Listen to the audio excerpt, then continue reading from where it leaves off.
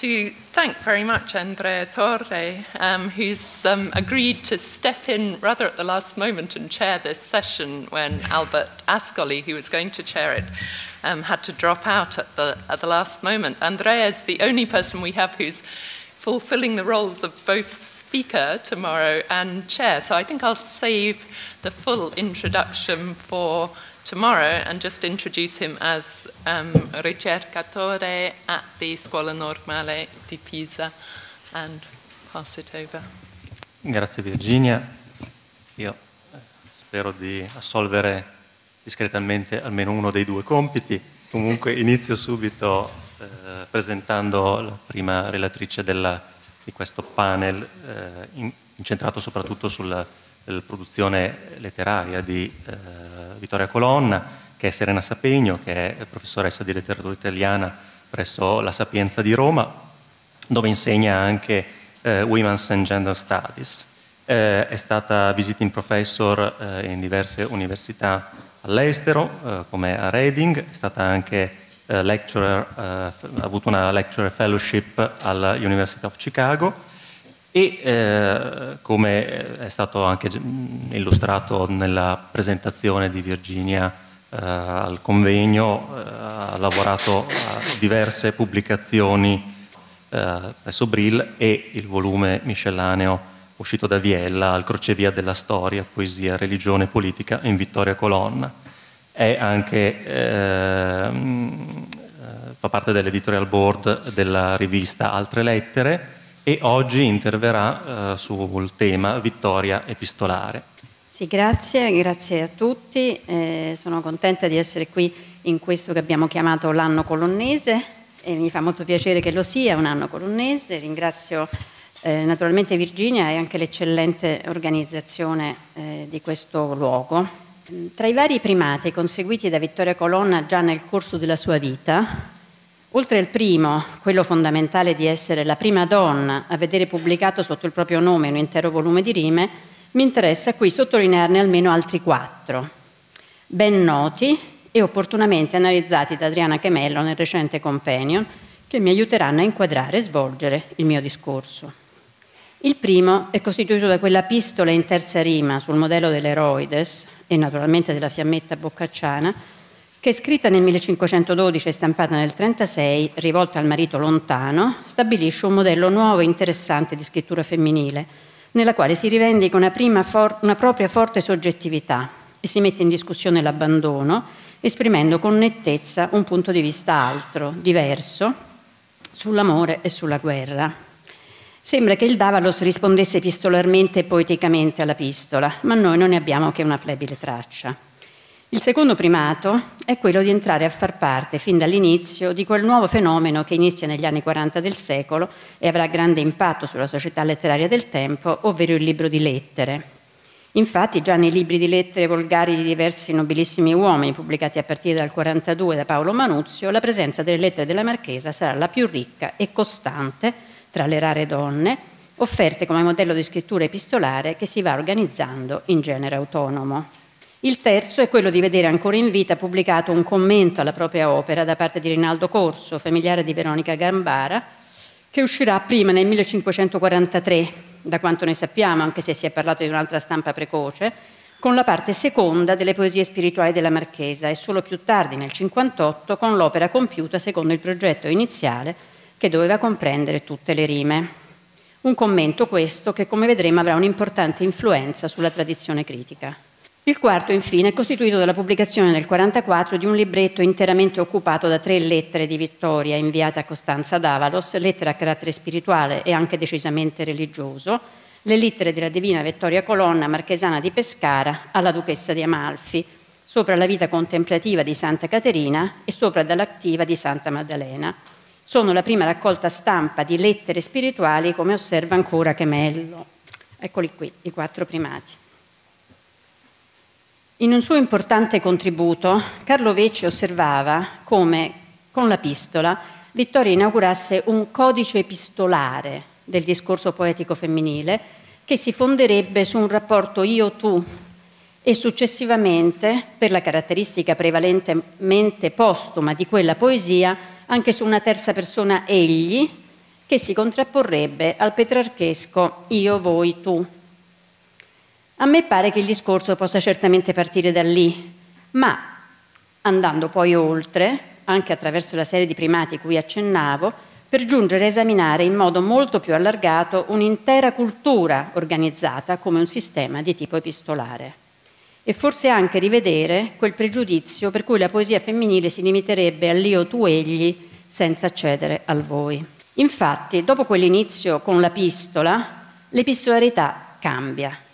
Vittoria è al centro di un intenso scambio epistolare con tutta la società che conta, la stessa descritta e parlante nei dialoghi più rappresentativi del tempo, le prose e il corteggiano. Scrive a tutti di tutto, di politica, di religione, di rapporti familiari e naturalmente di poesia. Molte lettere sono famose e contengono vera e propria critica letteraria. Riceve sonetti, ne manda, non tanto in risposta precisa ad un altro, ma per il piacere e la necessità di condividere. Gli interlocutori di questi scambi sono gli stessi delle lettere, poeti e non poeti, che rientrano nel suo circolo. Talvolta sono poesie di lutto e di addio, spesso di celebrazione. I libri di lettera stampa giungono a codificare e diffondere su numeri ben più ampi un costume che era invece stato il tessuto fondante della cultura di elite prima della stampa e lo continuava ad essere, almeno per alcuni come Vittoria Colonna, per cui la comunicazione epistolare assume diverse e fondamentali valenze.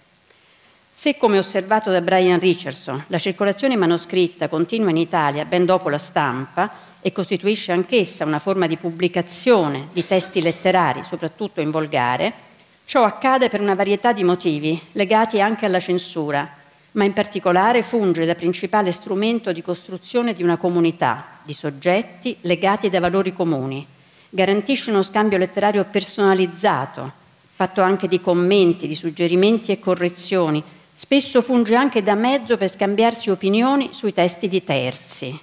Si potrebbe immaginare come un'estensione e un approfondimento delle relazioni sociali e cortigiane, una sorta di piazza virtuale ante litteram, molto vivace e frequentata.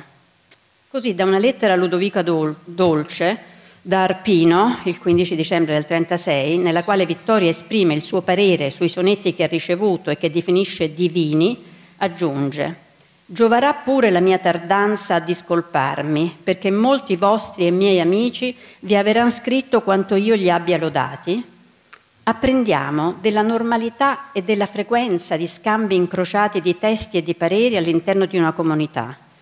O ancora da una lunga e interessantissima lettera al Castiglione del settembre 1524, molto famosa, tutta sul cortigiano, di cui lei tratteneva un esemplare, osserviamo non solo le congratulazioni e le lodi di rito, ma argomentazioni specifiche, frutto di uno sguardo critico non dilettantesco, sia nel merito del discorso che sul piano linguistico-letterario. Ma che dirò io della proprietà delle parole? Le facezie e burle sono tanto accomodate e ben dette, ma di quella parte che più me piace t'obbliga, che è le forsi debite laude, che date alla continenza e virtù delle donne, determino tacere. Ma non tacerò già quello che più ammirazione mi ha causato, che è che a me pare che chi scrive latino abbia una differenza con gli altri autori simile a un artefice che lavora di oro. E il nuovo vostro volgare porta una maestà con sé così rara che non deve cedere a niuna opera latina. Le lettere dunque sono veicoli di testi manoscritti inviati come dono o come richiesta, ma poi succede che ad essi testi si intreccino e sia talora difficile mettere a fuoco veramente dove finisca una scrittura e dove cominci l'elaborazione dell'altra. Nel ricco epistolario di Vittoria Colonna possiamo citare come esempio interessante, ancora nel 24, una delle varie lettere scritte a Giovan Matteo Giberti, nella quale risponde all'invio da parte di quest'ultimo di tre madrigali, quasi certamente di Pietro Aretino, uno in lode di lei e due del Giberti stesso.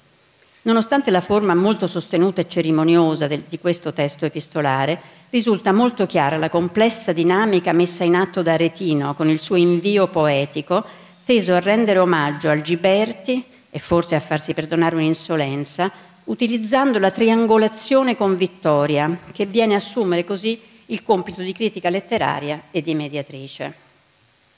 Ma è attraverso due relazioni molto importanti per la vita di Vittoria e non solo, che è possibile comprendere più da vicino la complessità e la rilevanza della particolare dimensione epistolare di cui stiamo parlando, quella con Pietro Bembo e quella con Michelangelo. È stato Dionisotti per primo a mettere in luce la centralità del rapporto tra i due per entrambi, una relazione quasi esclusivamente epistolare e però intensissima e appunto decisiva.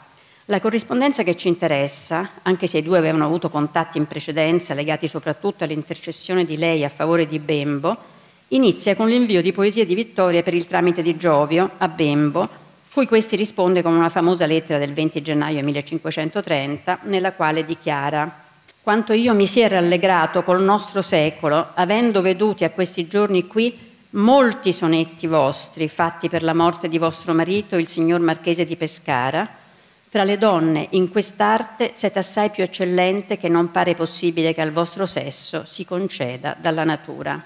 Non si trattava di un momento qualsiasi nella storia della nostra letteratura, perché nonostante il debito di gratitudine di Bembo nei confronti della Marchesa, nonostante il forte prestigio sociale di lei e considerate anche le parole possibilmente limitative tra le donne, Tuttavia l'uomo in, che in quel momento incarnava l'autorità riconosciuta in materia di nuova poesia assegnava alla poesia di Vittoria una collocazione di eccellenza che avrebbe successivamente ancora rafforzato in altre lettere a Giovio. La corrispondenza con scambio di sonetti proseguiva ancora per un po' con lo stesso tramite e famosa è anche la lettera di Vittoria ancora a Giovio del giugno dello stesso anno nella quale lei non si limita a riconoscere la superiorità di Bembo rispetto a tutti gli altri poeti petrarchisti, ma si dilunga in un'accurata analisi stilistica della poesia di lui, rivelando grande consapevolezza tecnica e perizia teorica. Si tratta quindi di uno scambio poetico che oltre a un numero molto elevato e imprecisato di testi, intesi a una lettura e valutazione reciproca, comprenderà anche sei sonetti di corrispondenza vera e propria tra i due e troverà parziale testimonianza nella stessa stampa delle proprie rime che Bembo appronterà di lì a poco nel 1535. Ma è evidente che si tratta allo stesso tempo anche di uno scambio intreccio intellettuale di alto livello, certo non riducibile a un gioco mondano e cortigiano, scambio che vedrà anche la richiesta e l'invio di immagini di sé e medaglie che dovevano sostituire un, mo- un molto desiderato incontro in prima persona. E infine, naturalmente, scambio intellettuale di opinioni sulle predicazioni di Ochino, sul cardinalato di Bembo, sulla poesia propria e altrui. Ad uno scambio esclusivamente epistolare, misto di prosa e di poesia, veniva così commesso un reciproco sostenersi e criticarsi, la condivisione di scelte ideali decisive, una legittimazione piena della poesia di lei e una serie di atti importanti di colonna che avrebbero influito sulla vita di lui. Il rapporto con Michelangelo occupa anni più tardi dell'attività di Vittoria, inizia verso la fine degli anni 30 e anch'esso avrà grande rilevanza per entrambi, oltre che per la tradizione critica dei testi poetici di Vittoria, dal momento che l'unico testimone certo della volontà dell'autrice è costituito proprio da quel manoscritto Vaticano Latino 115-39, mandato da lei a Michelangelo attorno al 40, che ci tramanda ben 103 sonetti secondo la lettera e l'ordinamento originali. Ma il manoscritto è solo uno degli elementi che ci restano a testimonianza di uno scambio epistolare intenso di poesie, di riflessioni religiose, di ritratti e opere d'arte varie che accompagneranno la poetessa negli ultimi anni della sua vita e segneranno in Michelangelo delle profonde trasformazioni. Ci restano, pare, solo sette lettere delle molte scritte da Vittoria a Michelangelo e numerose sono le composizioni nelle quali i due si rispondono direttamente o indirettamente. Negli ultimi trent'anni diversi studiosi e studiose da punti di vista diversi hanno esaminato il rapporto tra i due, il carteggio ricchissimo di lettere e di poesie ricopiate nelle stesse lettere che rivela un dialogo serrato e profondo, fatto di riflessioni religiose e teologiche sui temi più caldi del momento da quello della grazia e del dono a quello della croce e al ruolo della Vergine. I due ebbero anche modo di incontrarsi personalmente a Roma, come ci racconta Francisco di Orlando nei suoi dialoghi, ma va in primo luogo osservata l'assoluta crucialità dello scambio epistolare, in quanto scrittura, densa di profondi interrogativi, di dolore, non di rado di disperazione, che transitava dalle lettere alle poesie di entrambi, mentre si rispondevano e si rinviavano meditazioni, suppliche e preghiere. Michelangelo parlerà inoltre di un successivo invio di 40 poesie fattogli da Vittoria più avanti, poesia di cui non sappiamo molto, anche se lui stesso avverte che hanno già trovato la via della stampa. Tutto ciò avviene in una fase in cui la vita di Vittoria è divenuta molto più segregata, il clima culturale si è complicato, rendendo la rete epistolare meno aperta e la comunità di riferimento è ormai soprattutto quella dei cosiddetti evangelici ma la dimensione epistolare e la circolazione manoscritta continuano a caratterizzare la produzione di Vittoria. Intorno al 1540, dalle lettere che la Marchesa scrive a Bernardino Chino in un'ormai lunga consuetudine comune, emergerà in particolare una lettera fatta in forma di meditazione sulla passione di Cristo, che si trasformerà presto in un'operetta religiosa in prosa e avrà una circolazione manoscritta per poi approdare anch'essa alle stampe nel 1956 con il titolo di Pianto della Marchesa di Pescara sopra la Passione di Cristo. Abbiamo già visto come nel 1544 tre lettere scritte da Vittoria a Costanza d'Avalos venissero trasformate in un libretto a stampa, un po' per il nuovo interesse ai libri di lettere, poi per quella fame di riflessione religiosa che si percepisce anche osservando le parallele vicende a stampa delle rime, con la crescente attenzione degli editori alle rime spirituali. Secondo Maria Luisa Doglio, su questa scrittura epistolare di Vittoria Colonna ha un'influenza e un peso fortissimi il modello delle lettere di Santa Caterina, stampate, da, Aldo, stampate da, da poco da Aldo nel 1500, ma anche fonti scritturali, epistole e atti degli Apostoli e le vite dei santi. La forte esigenza di insegnare e formare comunicando va insieme alla tensione al sublime e produce un testo normativo ed esemplare con ricco impianto retorico e linguaggio figurato. Ma se guardiamo bene la riflessione che Vittoria espone in quelle lettere alla sua congiunta, le mie lettere così semplicemente scritte vi danno consolazione assai, balza subito agli occhi come non solo la materia sia esattamente la stessa delle rime spirituali, ma siamo davanti a una migrazione delle stesse figure retoriche. Il linguaggio prescelto è proprio quello delle rime e l'interlocutore implicito anche.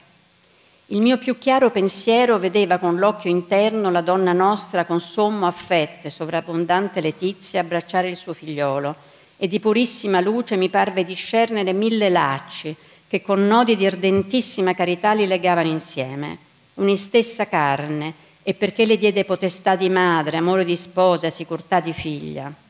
Maria supera tutti, perché non potranno giungere a quella che nella mente, nel ventre, con l'interno e corporeo occhio lo vide e vede continua. Non bisogna molte ragioni a mostrare che è più essere una medesima carne che un vicino spirito. Nutrendo l'autor d'ogni vita, era internamente nodrita da lui.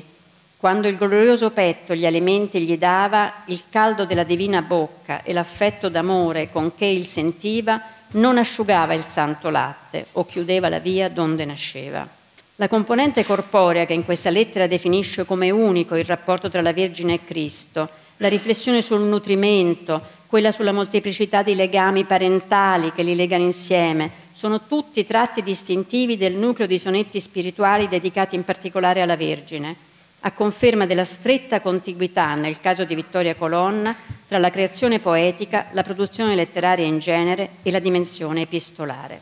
Tale dimensione, in tutta la sua complessità, non ha avuto fino ad ora l'attenzione che merita, anche se dall'Ottocento la pubblicazione di una buona parte del carteggio ha permesso di collocare l'attività letteraria della Marchesa in un quadro più ampio, e se negli ultimi decenni si sono moltiplicati gli studi e le scoperte di nuove lettere, con attenzione soprattutto all'importante versante della riflessione religiosa e teologica. In questo quadro è uscita l'edizione critica di Bullock, che se non altro ha consentito il riaprirsi di un ampio dibattito. Nell'ordinamento delle rime, assai discusso e discutibile, compare una sezione rime epistolari, nella quale sono 32 componimenti, 31 sonetti e un'ottava. In essa non è presente, ad esempio, la famosa epistola del 1512 a Ferrante. Se ci volgiamo indietro alla tradizione manoscritta e a stampa delle rime, anche solo per un rapido sondaggio che non punta alla completezza, colpiscono subito alcuni dati. I testimoni manoscritti più antichi, anteriori alla stampa, ci consegnano un quadro piuttosto interessante. Nel Vaticano Chigi 54-79, scoperto da Carboni e datato al 36, Su 109 rime, 107 sono di colonna e 2 di corrispondenti. Di questi sono 10, elencate rigorosamente frammiste alle altre, alcune con specifica del destinatario e altre no, quelle che finiranno nella fascia epistolare in Bullock, a differenza di altre tre marcate nel manoscritto esplicitamente come risposte, che invece saranno collocate nella sezione delle amorose. Lo stesso discorso può farsi per il manoscritto databile al 1531, individuato da Tobia Toscana alla Nazionale di Napoli, XIII G43, nel quale, senza alcuna specifica che li distingua, compaiono tra i 66 componimenti altri quattro di quelli che saranno definiti epistolari. E ancora lo stesso vale per il più tardo casanatense di Sesto 38 del 1560, nel quale in mezzo agli altri sono tramandati otto sonetti cosiddetti epistolari. La tradizione a stampa vede nelle prime due edizioni del 38 e del 39 una collezione nella quale non si rileva dall'editore alcuna partizione e nella quale sono presenti numerose rime che saranno poi rubricate come epistolari e varie che saranno definite spirituali. Come è noto, sarà dalla terza edizione di Zoppino del 1540 che inizierà quel movimento teso a evidenziare la presenza di sonetti spirituali, secondo la richiesta del mercato, spostandoli in prima posizione e aggiungendovene successivamente di inediti, fino al punto d'arrivo costituito dalla stampa nel 1546 delle sole rime spirituali. Dobbiamo invece aspettare il 1558 per vedere stampato quel commento di Rinaldo Corso a tutte le rime di cui si accennava in apertura e dove invece tutto cambia. L'operazione del corso è in linea con una tendenza che si era già manifestata nella volontà di alcuni autori come Chiara Matraini, Pietro Bembo Giovanni della Casa, che andavano nella direzione di una bipartizione del canzoniere. È invece in mancanza della volontà dell'autrice, opportunamente morta, che Corso si dedica ad una totale riorganizzazione del corpus, compiendo scelte molto drastiche. Alla dichiarazione fatta sopra la seconda parte, che era già apparsa nel 1543 e conteneva 38 rime spirituali, aggiunge questa volta altre 120 composizioni che rappresentano la prima parte, distinta anche tipograficamente dalla seconda. Ignora inoltre completamente il ricchissimo corpus delle rime spirituali uscite nel frattempo a stampa, presumibilmente anche allo scopo di preservare tra la prima e la seconda parte la stessa proporzione numerica del Rerum Vulgarium Fragmenta della prima e la seconda parte. L'ordinamento dei testi è frutto esclusivo della linea interpretativa del corso, che organizza il tutto per grandi nuclei tematici all'interno di una struttura fortemente unitaria che vede nella prima parte la poesia dell'amor terreno e nella seconda dell'amor celeste. A cerniera tra le due parti, ma pertinente tipograficamente alla prima, ci sono 12 sonetti che Corso definisce epistolari e due canzoni relegate lì questo non l'avete visto, vero? No. Beh, insomma, rapidamente gli dare un'occhiata e passiamo a corso. Due canzoni, dicevo, relegate lì per ragioni di metro. Di questi 12 sonetti definiti epistolari, 11 lo saranno anche da Bullock. In una costruzione così serrata e definita, quei componimenti sembrano davvero un ingombro inutile, una parentesi che serve forse a testimoniare i legami terreni che la poetessa intratteneva prima di volgere la propria attenzione più in alto. Forse ritiene che vadano espulsi perché il filo del percorso di quell'anima risulti più netto tra terra e cielo, una strada solitaria. Eppure, sia i codici che le stampe, fino a tutte le ristampe dell'Ottocento, manifestavano pressoché invariabilmente un'interpretazione assai diversa proponendo anzi talora anche i testi di alcuni interlocutori, in una lettura forse più cortigiana, ma certo molto aperta, della socialità epistolare di Colonna. Se li andiamo ora a vedere da vicino, i 32 testi pubblicati da Bullock nella sezione epistolari, verifichiamo anche in questo caso la loro relativa insignificanza in tale collocazione. La stessa definizione di epistolari non è in effetti molto chiara. Cinque di essi sono in morte o in memoria, celebrazioni di personaggi cari e importanti come San Nazzaro o Contarini. Altri sono rivolti a Carlo V o al Papa e sono effettivamente nel merito molto vicini alle lettere inviate agli stessi che leggiamo nell'epistolario. Omaggio ed esortazioni ad adoperarsi in favore della pace del mondo. È significativa la presenza di testi legati a personaggi della famiglia, da Alfonso del Vasto a Giovanna d'Aragona, Ascani e Pompeo Colonna, come del resto nell'epistolario stesso, qui a testimonianza di un forte senso di appartenenza e di un'affermazione dell'onore familiare. Infine ci sono i testi rivolti a Gambare e a Bembo, di cui appare difficile comprendere il senso della collocazione attuale tra gli epistolari rispetto ad altri del tutto analoghi stampati invece tra le amorose o le spirituali. Il risultato è che questo gruppo di rime cade in un vuoto di senso, sembra assumere un valore decorativo e avulso da qualsiasi contesto. Perché scrivere lettere e poesie alle stesse persone?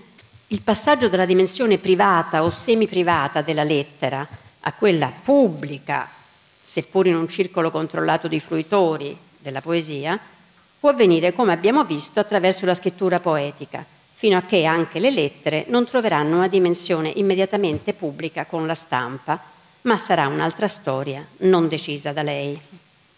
Lasciando la sezione epistolare, riprendiamo in mano le rime amorose, da cui Bullock forse affascinato anche lui da un'ipotesi bipartita, solo parzialmente giustificata dalle vicende dei testi, ha quindi espunto quasi tutte le rime che si rivolgevano a qualcuno che non fosse l'amato sposo, con scarse eccezioni come quel Ai quanto fu al mio suo contrario il fato, rivolto a Bembo, e due sonetti nella 1 e uno nella 2 che si rivolgono a un soggetto collettivo, un voi, che non ci, sarebbe, non ci dovrebbe essere secondo alcuni, solo vagamente definito come poeti, studiosi di cose sacre, testimoni comunque di una vita e di una relazione vissuta dentro una socialità. In A2 inoltre è inclusa la pistola di cui abbiamo parlato e un ulteriore sonetto al 6, Felice donna, del tutto sovrapponibile come struttura e linguaggio alle altre epistolari. Inoltre noi sappiamo da altre fonti che in A1 il 35 e il 36 sono in risposta a due sonetti di Tebaldeo, mentre il 37 è presumibilmente una risposta a Francesco Berni. Se è possibile che altre segnalazioni mi siano sfuggite, ed è possibilissimo, ciò che intendo sottolineare è l'apertura della poesia di Vittoria a una socialità più allargata di quanto lo stato delle nostre conoscenze attuali non ci consenta di apprezzare. Ma il discorso si fa più complesso e interessante se esaminiamo le rime spirituali. Nella prima sezione che le comprende, S1, già al numero 7 troviamo un sonetto rivolto con ogni probabilità al Paul, mentre i 90 e 97 sono per Michelangelo. Poi dal 136 in avanti inizia una serie quasi continua di sonetti rivolti a Bembo, a Fregoso, che ne ha uno anche negli epistolari, ancora a Paul, ancora a Michelangelo. Se la comunità di riferimento di questa rete epistolare sembra essersi ridotta di numero, è anche vero che i nomi appartengono a un gruppo molto stretto, punti di riferimento fondamentali, con piena identità di vedute e un senso forze, forte. Le poesie del resto sono tutte concentrate sui grandi temi del dibattito religioso e teologico, una riflessione che assumeva senso e forza solo nello scambio continuo. Ma in verità sembra che questo dialogo epistolare si possa allargare ancora se esaminiamo un nucleo di componimenti molto compatto delle rime spirituali che sembra preservarsi sostanzialmente intatto, almeno come disegno con poche varianti, nel Vaticano latino per Michelangelo e nell'edizione Valgrisi del 46 delle spirituali. Si tratta di una sezione che comprende un nucleo di sonetti dedicati alla Vergine, da S1 100 fino a 110, presenti quasi tutti in V che sarebbe il Vaticano Latino, anche se non nello stesso ordine, e poi una serie ininterrotta da 111 fino a 132 di sonetti rivolti alle figure più significative della Bibbia e della devozione cristiana, da Noè, Simeone, Pietro, Andrea e Tommaso, passando per Stefano, Lorenzo e Maddalena, fino a Caterina, Francesco, Ignazio e Benedetto, per finire con gli arcangeli Gabriele e Michele. Si tratta anche in questo caso di una comunità chiamata in prima persona a testimoniare della fede e investita del compito di rappresentare quella compresenza della natura umana e divina, quella vicinanza con altri nel cammino della salvezza, quel suo volgere la bella musa al vero al quale Vittoria invita Bembo proprio in questi versi. A me pare che la dimensione epistolare di Vittoria Colonna includa tutto ciò senza avere fratture. Se può e vuole scrivere al Papa e all'Imperatore lettere e poesie, così come ai più grandi artisti e intellettuali del tempo, è anche perché crede nella grande forza della parola, in quanto si sente parte di una comunità, prima di tutto familiare, ma poi sempre più religiosa e ideale, connessa ancora per lei soprattutto attraverso la scrittura e lo scambio epistolare.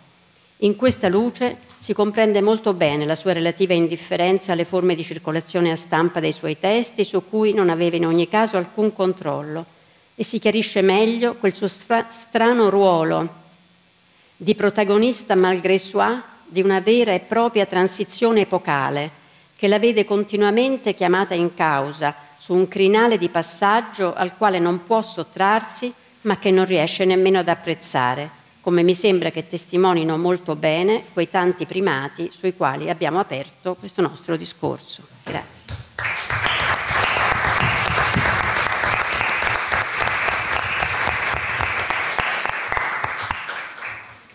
Grazie a Serena Sapegno per aver ricostruito in modo così lucido e puntuale la, le forme e le funzioni no, del discorso epistolare di, eh, di Colonna. Eh, do ora invece la parola alla seconda relatrice della, eh, del nostro panel, che è Veronica Copello, che eh, ha, si è addottorata a Pisa, all'Università eh, di Pisa, ora ha, fatto, ha avuto una, un postdoc, postdoc di, di, pochi mesi all'Università di Friburgo e poi a, a settembre invece sarà ospite dell'American Academy.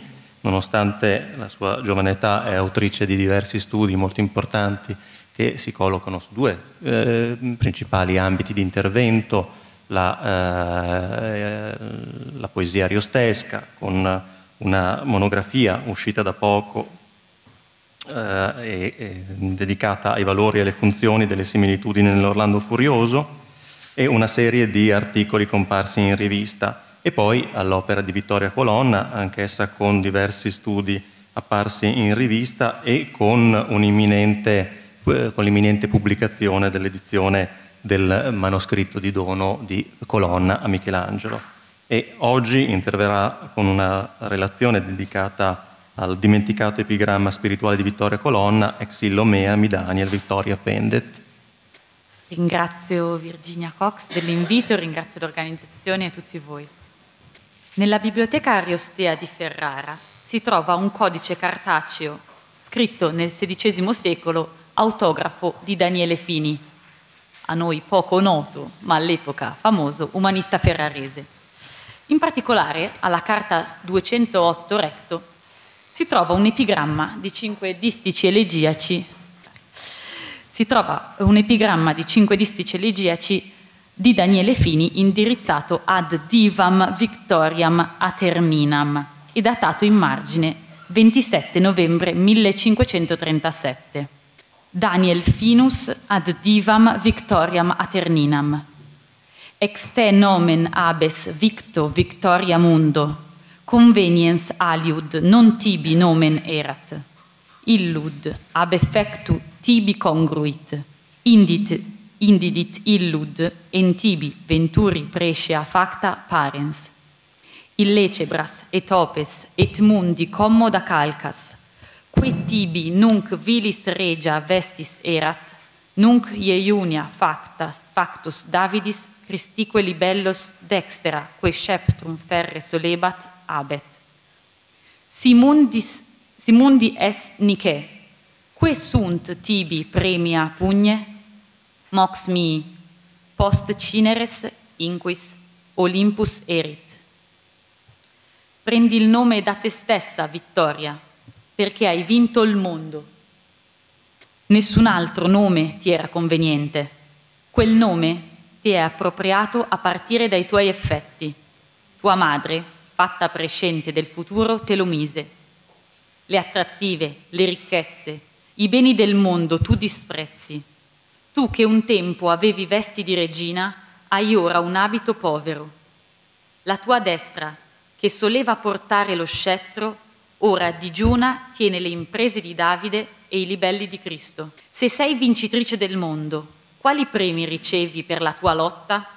subito mi dici, dopo la morte ci sarà l'Olimpo. L'identificazione di questa vittoria a Ternina con Vittoria Colonna è certa e si fonda su numerosi elementi. Il primo è l'appellativo Aternina, che deriva dal fiume Aterno, che è appunto il fiume che scorre a Pescara, e la poetessa si firmò solo ed esclusivamente marchesa di Pescara per tutta la vita, titolo che eh, chiaramente rimandava al marito.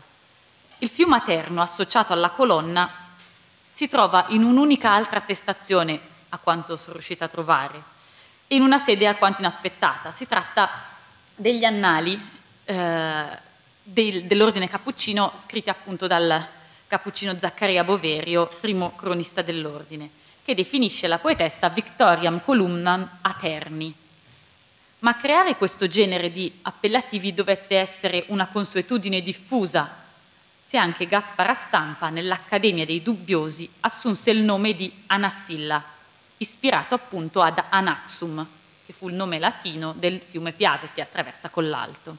Un secondo elemento è il titolo di diva, comunemente associato alla colonna, come per esempio accade in tutte le, le prime edizioni delle sue rime. Un terzo elemento è la datazione. Vittorio Colonna si trovava precisamente a Ferrara in quel novembre del 37. Ma poi ancora, numerosissimi sono i testi indirizzati a Vittorio Colonna che giocano appunto sul suo nome, da Bernardino Martirano a Ludovico Beccadelli, che cita appunto la vittoria sul mondo. Certa vittoria è veramente rara di quanto il mondo a questi sensi dona. O ancora Annibal Caro la definisce vincitrice del mondo e di voi stessa. Bernardino Rota le dedica un'egloga intitolata col nome greco di Vittoria, appunto questo Niché, eh, come fa anche eh, Daniel Finus. Ancora Bernardino Rotte in un sonetto eh, le si rivolge con queste parole, tu seconda vittoria, alta colonna d'onor, tua salda base, ampio sostegno sarai di questo e di quel chiaro ingegno di te stessa e del mondo e d'onor donna. E poi c'è il famoso eh, passo ariostesco, vittoria è il nome, e ben convien sia nata fra le vittorie, e da chi o vada o stanzi di trofei sempre e di trionfi ornata la vittoria abbia seco, o dietro o dinanzi. Vi sono poi eh, testi di Tansillo, di Galeazzo di Tarsia, di Paolo Giovio, con quel suo fatale Vittorie Nomen che ripete in più di un'opera. Vi è poi un famoso, una famosa lettera di Pietro Aretino dello stesso novembre del 37 che si avvicina per più aspetti a questo eh, epigramma Delfini. Due cose non più vedute né più comprese ha visto e compreso il mondo. L'una fu l'invitto dell'animo del sommo vostro consorte, l'altra è l'invincibile dell'alta mente vostra, bontà della quale vi si dona la palma, perciò che egli con tali forze vinse le battaglie delle genti, e voi con si fatto valore vincete le guerre dei sensi. Ben fu augurio di beatitudine il di che foste battezzata vittoria, ben fu fatale cotal nome, poiché vincendo, vedete l'insistenza su questo termine, su questa area semantica, vincendo quasi in fatto d'arme tutte le vanità mondane, vi ornate delle spoglie e dei trofei che s'acquistano nelle sconfitte date dalla fermezza del ben fare e dalla costanza della fede agli inganni terreni. Voi, non per iscemare il grado del gran marito vostro, avete ritrovata la milizia spirituale, c'è un passaggio da morale a religioso in questa lettera dell'Aretino, assente negli altri testi citati. Ma per mostrare che sì come egli pose in uso per domare l'inespugnabile ciò che mai seppero le scole di Marte, così voi ponete in opera per soggiogar l'abisso quel che si può ritrarre dagli studi di Cristo. Cristicoli bellos di fine. E perciò i dominatori d'ogni clima non portar mai diadema che splendesse come splende quello che folgora nel capo di colui che ha saputo sottomettere se stesso. Vi è poi la eh, già citata eh, medaglia di Vittoria Colonna nelle vesti di Vittoria, di cui si è occupata anche recentemente Virginia Cox, il passo di Pompeo Colonna nell'Apologia, ancora citato da Virginia Cox, ma è la stessa poetessa a giocare sul suo nome. Nell'epistola in versi, se volevi, se vittoria volevi, io t'era appresso, ma tu lasciando me lasciasti lei. E ancora, in una lettera rivolta all'imperatore Carlo V con una punta di ironia, torna a riprendere lo stesso gioco utilizzato dall'imperatore, eh, che parlando del, marchi- del marito Marchione Piscarie, qui convenienti, stesso termine Delfini, gratulazione tuo nomine functus efficit et tum victoriae nomen auspicatissimum nobis semper crederemus. Riterremo sempre che il tuo nome di vittoria sarà di grandissimo auspicio per noi. E Vittorio appunto in modo ironico dice il nome mio tengo in grandissima estimazione essendomi stato posto per la vittoria dei suoi passati e tanto più essendo dalla maestà vostra preso in augurio felice, conosco averlo usato solo in vincere me stessa, desiderando più presto, con tanti imminentissimi e diversi pericoli, che il marchese le serva, che venga a quietarsi con me. La vittoria, qui diciamo è affettivo sentimentale, ho vinto me stessa nel desiderare che mio marito non stia con me, ma stia a servire lei, imperatore.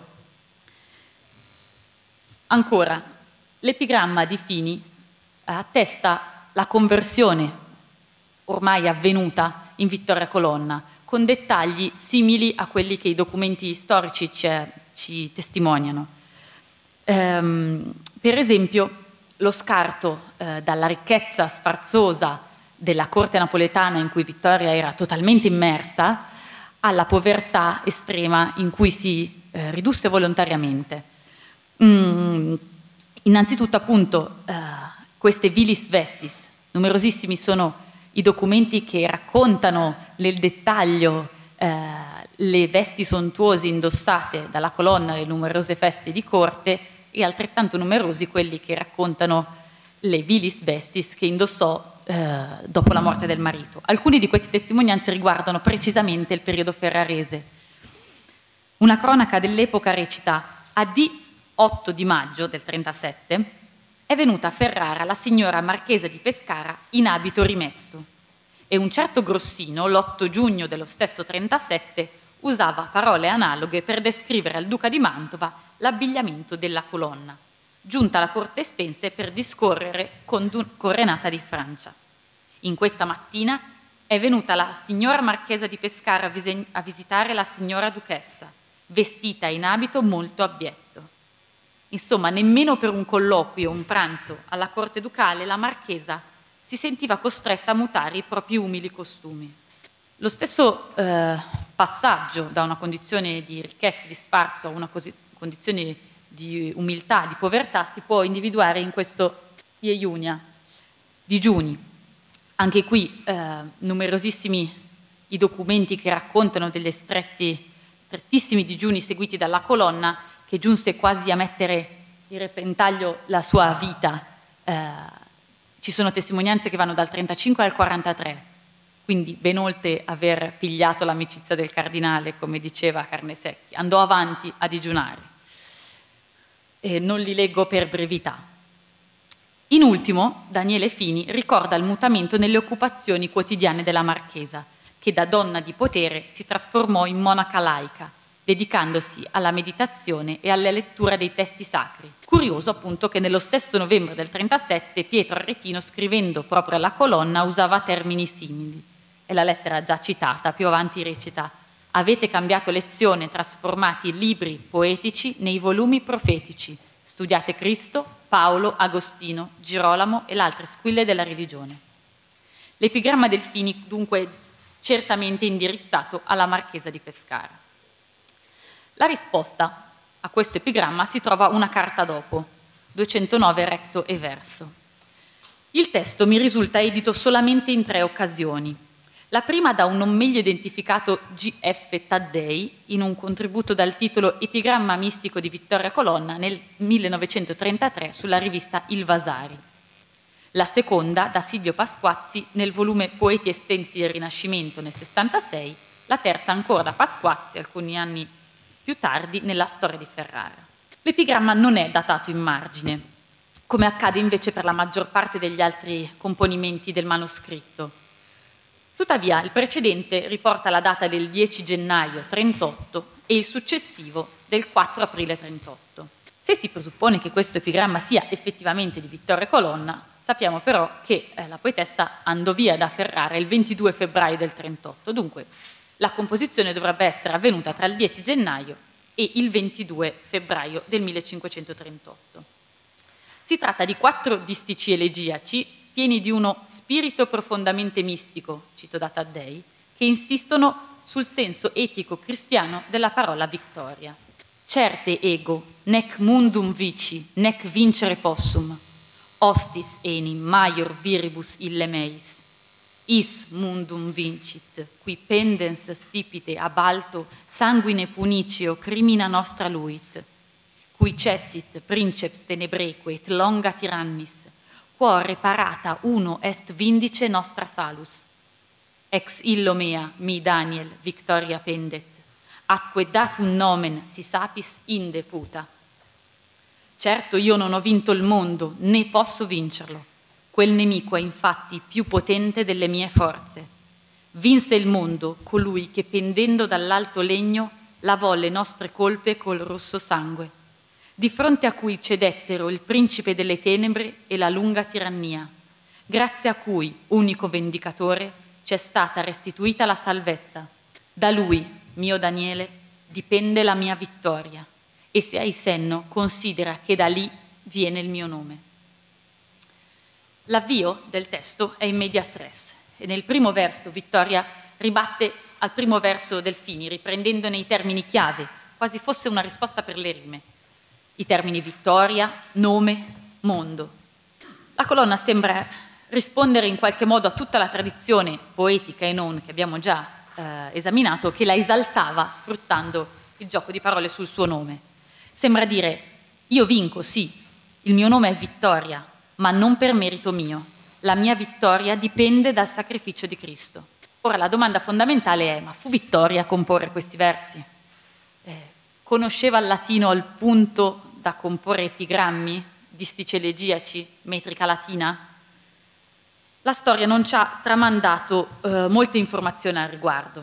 Solo Filonico Alicarnasseo, che conobbe di persona la poetessa e ne scrisse una biografia però non sempre affidabile, racconta che la colonna scrisse per l'utilità dei mondani così in latino come nell'italica favella molte composizioni e opere di grande estimazione, di grande considerazione e memoria quanto fossero opere di grande considerazione e memoria, nulla memoria c'è rimasta però.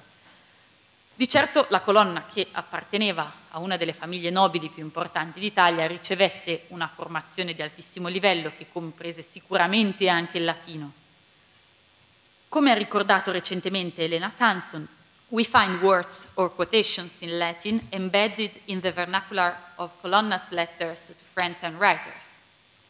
Ricevette lettere in latino ma mai ne scrisse. Quindi oltre alle citazioni contenute nelle epistole e al pre- presente epigramma, l'unica altra attestazione contenuta nel citato codice della Biblioteca Casanatense di Roma e si tratta di una orazio edita per Victoriam Columnam Marchionem Piscarie, pubblicata nel 1840 da Pierrecole Visconti nella sua edizione delle rime. Ma nessun elemento del testo interno o esterno, o del contesto, insomma, ci aiuta ad attribuire questa orazio con certezza alla Marchesa di Pescara. Eppure l'epigramma a Daniele Fini contiene alcuni tratti tipici della poesia colonnese, a partire innanzitutto dall'attitudine a ribaltare il punto di vista del mittente. È una dinamica che si rinviene in altri scambi poetici, innanzitutto in quelli con Michelangelo, come se la poetessa dicesse al suo destinatario non è questo il punto, eh, il problema è mal posto. In secondo luogo, alcuni temi dell'epigramma risultano particolarmente ricorrenti nelle rime spirituali. Partiamo dall'incipit. Certe ego, nec mundum vici, nec vincere possum. Abbiamo detto che il gioco sull'etimologia del proprio nome non è nuovo né tra gli autori che si rivolsero alla colonna né alla colonna stessa.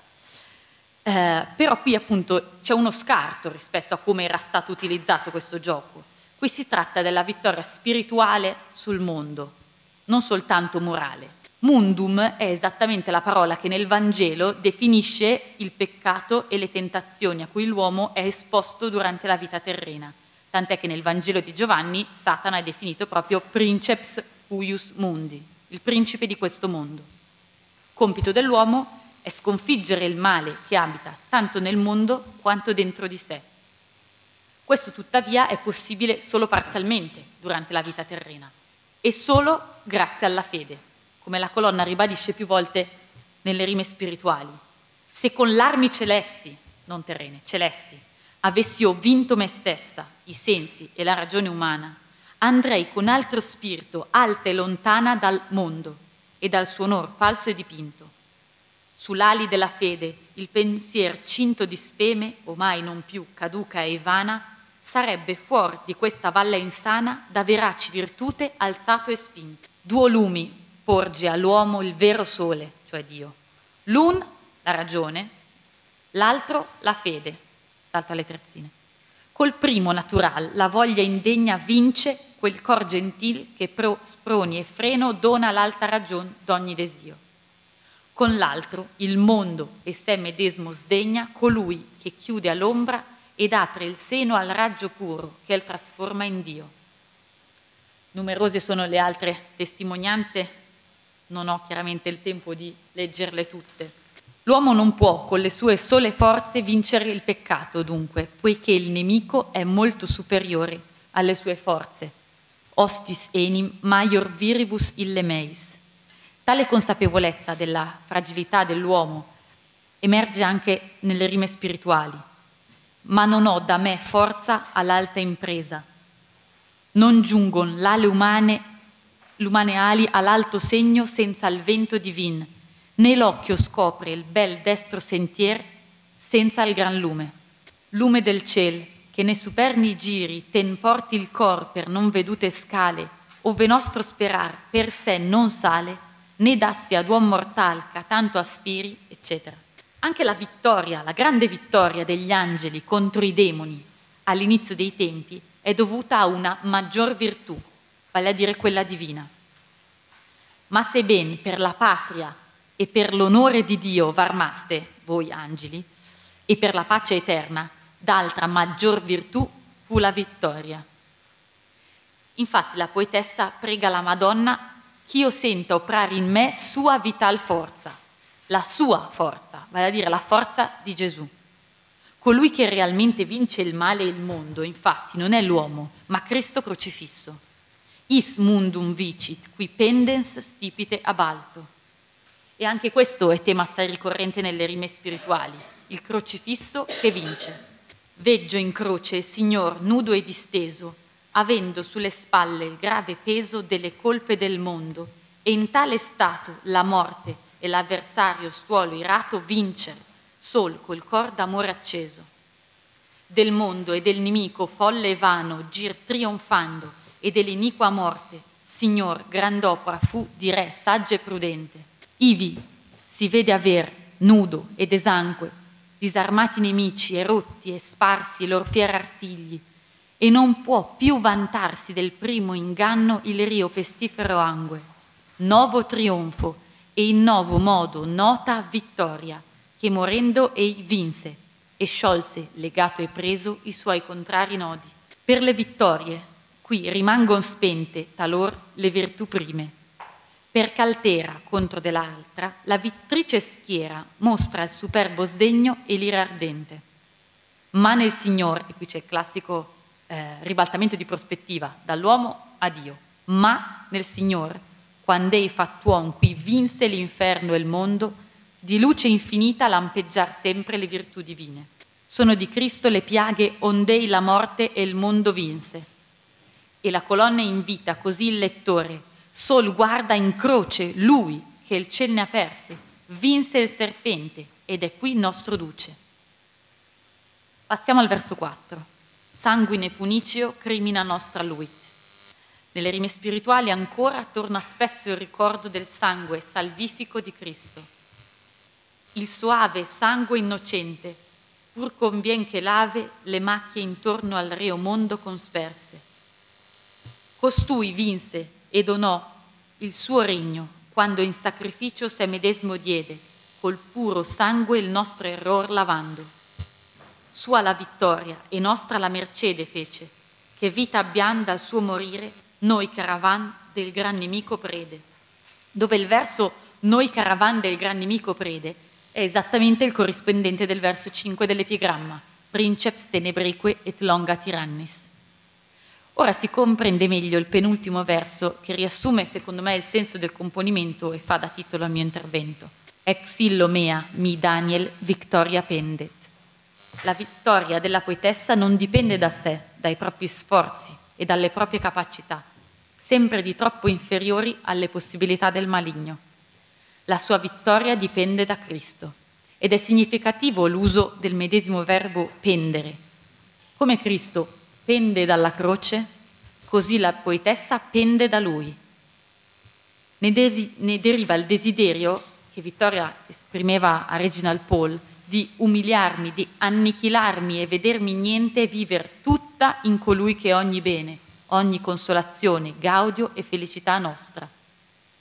Similmente nelle rime, metter convien noi stessi in bando del cieco mondo, sì che qui si muoia e in Dio si viva, e Lui sami ed onori. È il Signore che consente all'uomo di vincere il mondo e se stesso per dirigersi agile e leggero verso il cielo, come si legge, benché in altri termini, nelle rime spirituali. Padre nostro e del cielo, con quanto amore, con quanta grazia e in quanti vari modi dal mondo e da se stesso l'uomo snodi, a ciò libero a te rivolga il cuore. Così ribadisce l'ultimo verso ancora, che risponde ai versi 3-4 di Fini. Atque datum nomen si sapis indeputa, che eh, Fini scriveva inditit, usando lo stesso verbo proprio, illud entibi ventura prescia facta parens. Non mia madre mi ha dato il nome, dice la colonna, ma Cristo stesso. Il mio nome, vale a dire la mia persona, ciò che ultimamente eh, mi definisce, non deriva da un fato che paganamente abbia previsto il mio trionfo, ma ha origine e consistenza unicamente nel sacrificio di Cristo. Per concludere, eh, la coincidenza cronologica eh, con il soggiorno ferrarese, la vicinanza di temi e di stile di questo epigramma con le rime colonnesi, mi induce a credere che l'ideazione del testo vada affidata, assegnata alla marchese in persona, benché poi la stesura metrica latina avvenne probabilmente con l'ausilio di un segretario o di un umanista della, corte, della corte ferrarese. Si spera con questo eh, breve intervento di aver aggiunto un tassello alla, ai testi eh, della colonna. Grazie.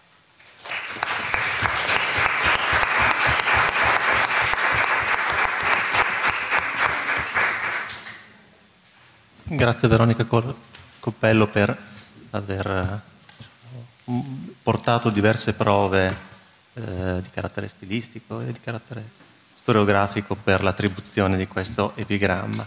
E arriviamo ora all'ultima eh, relatrice della, della, giornata, Sara Rolf Prodan, che è Associate eh, Professor al Victoria College dell'Università di Toronto e attualmente è anche Fellow all'Harvard University. È stata uh, co-editor del volume Friendship and Sociability in Pre-Modern Europe, uh, che è un volume uh, degli atti di un convegno realizzato a Toronto e curato da Sara insieme a Conrad Eisenbicher e Elisabeth Cohen, che è autrice di una monografia su Michelangelo e la tradizione mistica italiana eh, che, un volume che peraltro ha vinto il Modern Language Association Scaglione Publication Award. E ehm, l'intervento eh, al, al, convegno eh, di Sarah Rolf Prodan è Religious Desire in the Poetry of Vittorio Colonna, Insights into Early Modern Piety and Poetics. Thank you. I'd also like to thank Virginia and the organizers for putting together such a wonderful conference. Um, I'll read in English, but the poetry in Italian. Um, for reasons that might become obvious as we proceed. Without desire, would there be lyric poetry? Without angst or spiritual longing, would Christian verse exist? These are not questions I will attempt to answer in this paper. With these queries, I intend rather to raise in your minds and imaginations the possibility that an exploration of spiritual desire in the texts of a Christian writer might lead one to a better understanding about the piety as well as the poetics of a given moment. As a religious reader of the Bible, Vittoria Colonna approached the scriptures and other spiritual texts, asking important existential questions, such as who and where am I, who and where ought I to or would I like to be, and how might I get there? For Colonna, both questions and answers were framed and so defined by the terms and the contours of Christian eschatology. It is unsurprising, then, that desire in Colonna's spiritual poetry finds a natural expression in the lyric persona's requests for divine presence or divinely mediated transformation, for guidance, assistance, and illumination, for somatic accompaniment, inspiration, and ontological change. That is, for grace. Where such wishes are expressed together with explicit references to biblical figures or types and narratives, one finds a rewarding terrain for exploring the poet's spiritual practices, not because the lyric persona may be taken for the person, but because the scriptural references the poet herself weaves into the speaker's expressions of spiritual longing are suggestive of the writer's preparation for and approach to religious writing itself.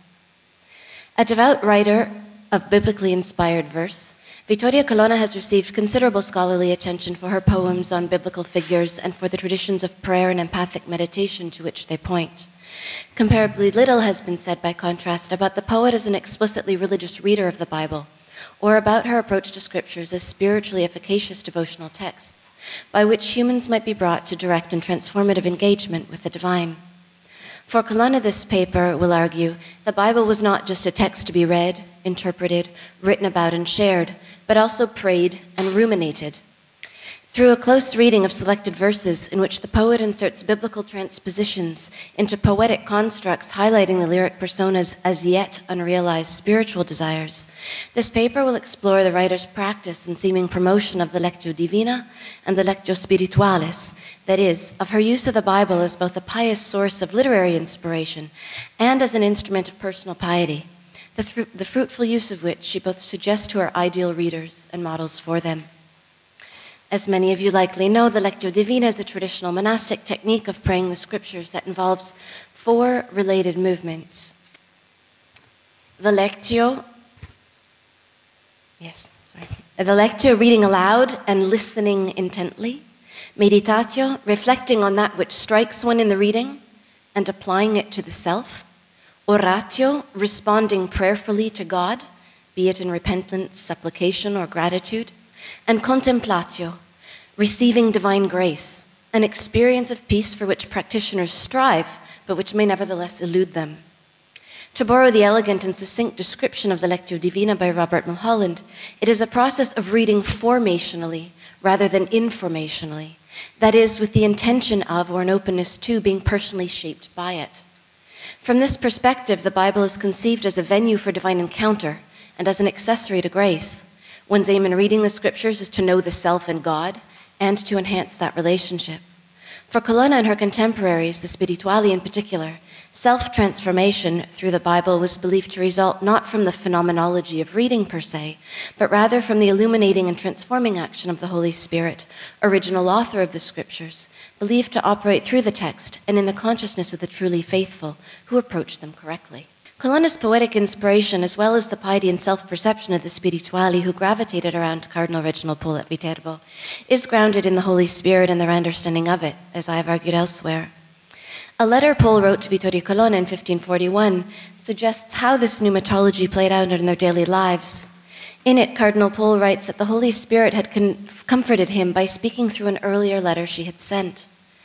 Since there are few things that I read at this time or become aware of from others' words that can give me pleasure or comfort, all the more welcome to me is Your Excellency's letter, which has given me both comfort and pleasure.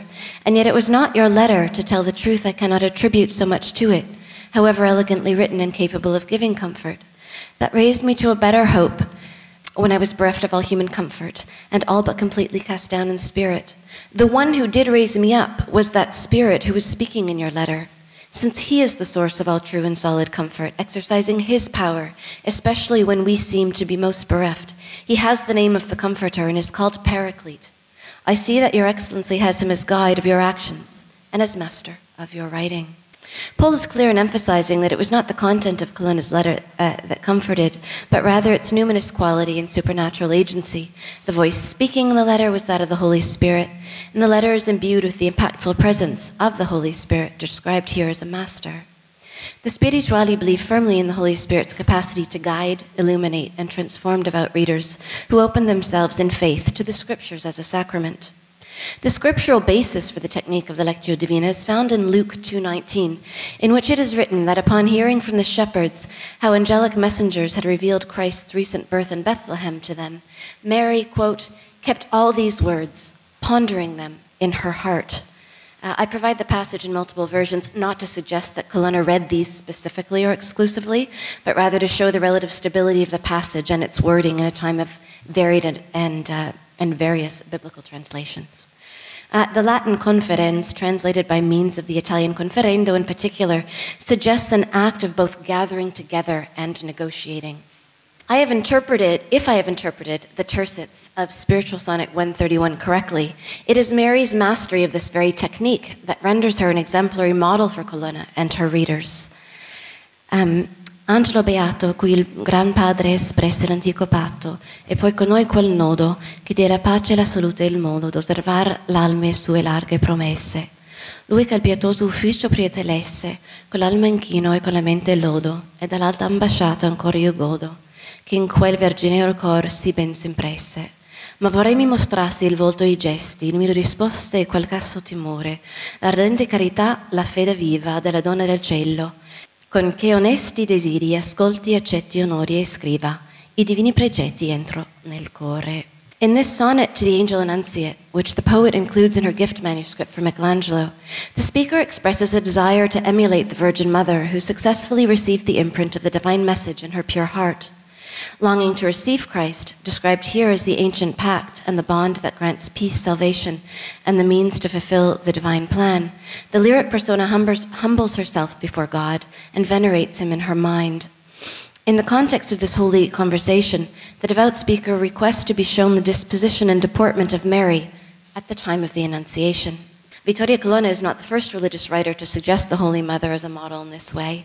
In Thomas à Kempis's widely circulated 15th century devotional classic, The Imitation of Christ, readers were similarly encouraged to follow Mary's humble and pious response to the angel annunciate at the time of the Incarnation. O Lord God, my Creator and my Redeemer, I long to receive you this day with such reverence, praise, and honor, with such gratitude, worthiness, and love with such faith, hope, and purity as that which your most holy mother and glorious Virgin Mary longed for and received you when she humbly and devotedly answered the angel who announced to her the mystery of the incarnation. And then we have the quote from Luke 138 Behold the handmaid of the Lord, be it done to me according to thy word. The pious speaker in Vittoria Colonna's sonnet desires to experience spiritual benefit through divine presence and transformative change by receiving and communing with the divine word as Mary did. What is uniquely striking about Colonna's poem is the manner in which she contrasts Mary's reception of the divine word by the angelic messenger and the process by which the lyric persona intends to imprint divine precepts within her own heart. The four verbs the poet deploys to convey this wish subtly but clearly evoke the movements of the Lectio Divina. During the Lectio, one listens intense, intently to the divine word, which was most commonly read aloud and repeated. In the Meditatio, one takes the message deep into one's mind, reflecting upon it and accepting it, pondering any precepts and applying them to the self. With the oratio, one honors the tenets or injunctions and thus also their originator by following them with humility and by turning reverentially, repentantly, or beseechingly to God in response to his message, requesting, if need be, his grace, so that transformed by it, one might then be able to live obediently according to his commands.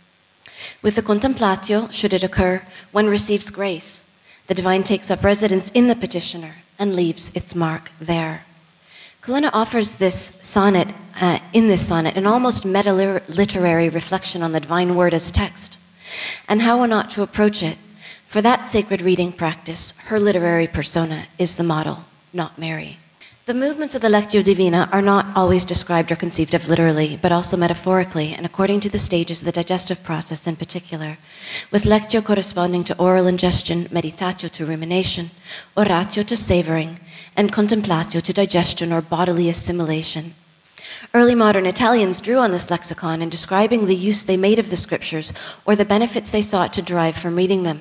Prescriptive texts and biblical paratexts encouraged this kind of approach to the scriptures as a source of sanctifying grace. Colonna similarly deploys a vocabulary of digestion in Spiritual Sonnet 57. Comparing herself expectantly to Zacchaeus, a rich but unworthy tax collector who hosted Christ in his home and was changed by him, the poet describes preparing a table for the Lord with her faith and nourishing him with her soul and heart. By means of this creative and profound allegorical transposition of the biblical text, the poet presents her readers with a lyric persona in the act of prayerfully offering herself up to Christ as an oblation. Colonna, again, is not the first to recommend this kind of self sacrifice to God.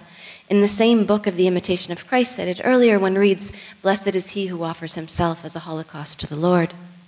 I bring up the imitation of Christ again, neither to detract from Colonna's originality, nor to suggest a literary dependence or a genealogy of influence, but rather because the early modern system of sacred reading was not limited to the Lectio Divina and to the scriptures.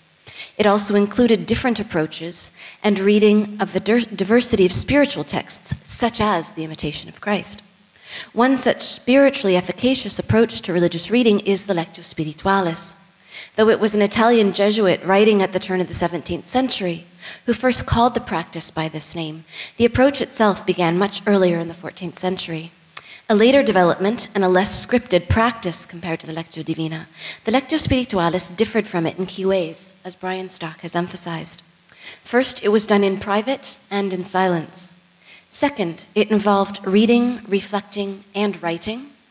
Third, responding to the reading, the practitioner engaged in self scrutiny, applying insights gleaned from the text to the self, establishing through self examination and the recording of one's emotions and personal reactions what Brian Stock has described as a spiritual autobiography. Fourth, the writing to which the reading gave rise was understood as a pointedly spiritual exercise.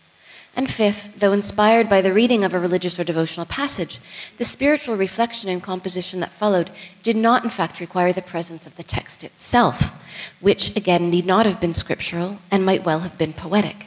The process of reading, reflecting, responding, and writing could thus unfold over an extended period of time.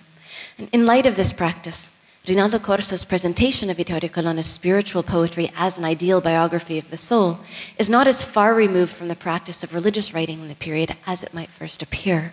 Brian Stock has identified Petrarch as an important originator of the practice through his Secretum, and in the dialogue between his literary persona and um, Augustine in Book 2, chapters 15 and 16 in particular, from which I will read but a brief excerpt in which um, Francesco Every time when reading you come across useful expressions by which you feel your mind held back or stimulated, do not rely on the strength of your intellect, but hide them in the recesses of your memory and make them familiar to you by continuous study, so that as in the habit of medical experts, any time in whatever place an illness arises that does not allow for delay, you will have the treatment, so to speak, written in your mind. From a related letter that Ugo Dotti has suggested for comparison with this text, we see how Petrarch applied the practice of religious reading and writing to the self, encouraging others to do the same. And it is my own writing that give me the, my own writings that give me the most serene comfort, in that they are best suited to my ills, like those that the hand of the doctor, himself sick and aware of the pain, has positioned in the appropriate place. I would certainly not obtain this result if these useful words were not pleasing to my ear, did not push me through their innate sweetness to repeated reading, and did not thus insinuate themselves into me, little by little, penetrating me deeply with their secret tips. Moving from a literary to a religious context, one might also turn to the writings of the 16th century Spanish religious writer Juan de Valdez, who, residing in Rome and then in Naples between 1530 and then 1541, greatly influenced Reformed thought and piety in Italy. Valdez outlined a similar manner Valdez outlined a similar manner of approaching the Bible and other religious texts in his dialogue on Christian doctrine from 1529. When I am reading one of the books you're referring to, if I run across something which pleases me, I think to myself how much, rich, how much richer my soul would be if I had it. Then immediately my spirit is uplifted by a tremendous and fervent desire to ask God to grant me what I discovered there I ought to have. And so out of the lesson I am provided with prayer and contemplation.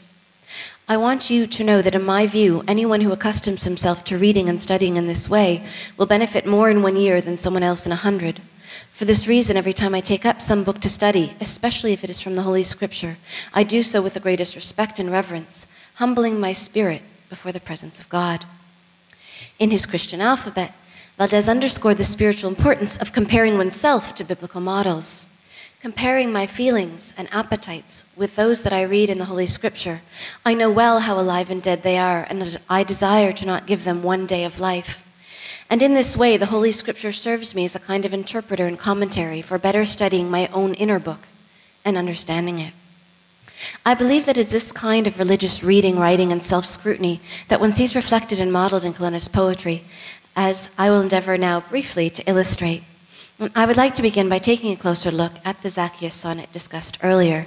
The poem exists in multiple variants that I present together here to facilitate comparison.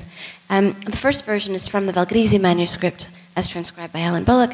The second is substan- a substantially different version from the manuscript Colonna prepared for Michelangelo, as transcribed by Abigail Brundon. Thank you. Beside it, in brackets, are the relatively minimal differences between it and the version commented by Rinaldo Corso in 1543. Um, for the sake of time, I'll, I will um, skip through reading it because I will discuss the differences in detail. As Colonna's contemporary and poetic commentator Rinaldo Corso first noted, this sonnet takes as its point of departure the lyric persona's desire to be with, that is, like, Zacchaeus, a wealthy but unscrupulous publican who climbed a tree to see Christ's entrance into Jerusalem. The story is narrated in Luke 19 1 to 10. Because the crowd was large and Zacchaeus was small in stature, he ran ahead to ascend to a height from which he might clearly observe Christ arriving. The outcome of elevating himself above the others in this way was that Zacchaeus became visible to the very individual upon whom he sought to cast an unimpeded gaze. In seeking Christ, Zacchaeus was found by him, and in readily accepting to receive Christ in his homes, so as so ordered by the Son of God himself, he was transformed into a good person. Uh, writing in the 1540s, Antonio Brucioli, in his commentary to the biblical passage, describes Zacchaeus as having been among the most vile of men, vilissimi. Interpreting the biblical passage allegorically and transposing it into the sonnet, Colonna the poet expresses the wish that her mind might ascend to the divine as Zacchaeus the man did in climbing the sycamore. As is well known to the present company, Michelangelo and Vittoria Colonna shared certain spiritual ideals that I believe might account in part for the differences, and I underscore might, this is a working hypothesis, might account in part for the differences between these two versions. The sonnet Colonna sent him, which I will simply call the Michelangelo sonnet, differs in five seemingly small ways from the Valgrisi sonnet that prove to be quite significant when considered together for they allude more precisely to the Holy Spirit and to God's grace, that is, to a more explicit pneumatological dimension in discourse that was dear to the spirituale. In the Michelangelo sonnet, the lyric persona is mossa, or moved, by an immense feeling, rather than full or filled by one. This is a word that Colonna uses similarly in her religious correspondence with fellow spirituali to describe being inspired by the Holy Spirit as when writing to Giovanni Morone on uh, 22nd December 1543, she described how much greater her joy would have been if she had been able to write to him that which it seemed to her she was being moved to say, se avessi potuto rispondere come mi pareva d'esser mossa. Next, hosting the divine in her breast, the speaker describes the sojourn as sweet rather than brief, emphasizing the spiritual pleasure derived from it rather than its fleetingness. This indwelling sun opens an illuminating ray for the speaker of the Michelangelo sonnet, a sign of grace, and merely warms that of Valgrisi poem, a sign of affection or faith. In the Michelangelo sonnet, the speaker is saved by great Christ's merit, whereas in the Valgrisi, heaven merely reserves itself for the speaker's true love.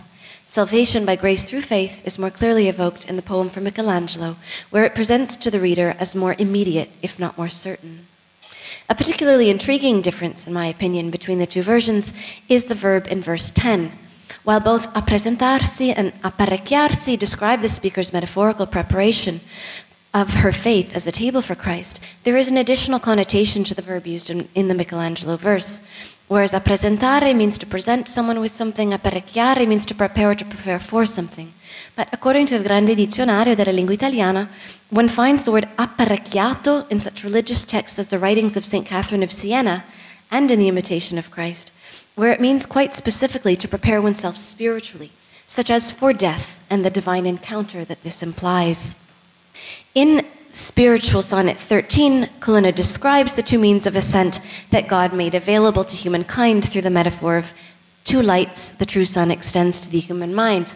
I will skip reading this since Veronica has already presented it for us.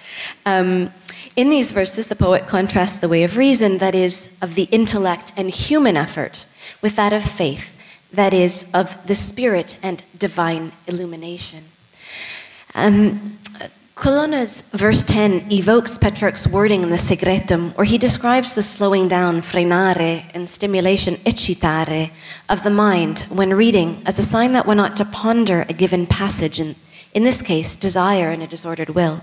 Again, not to suggest literary inspiration, simply parallel in ideas.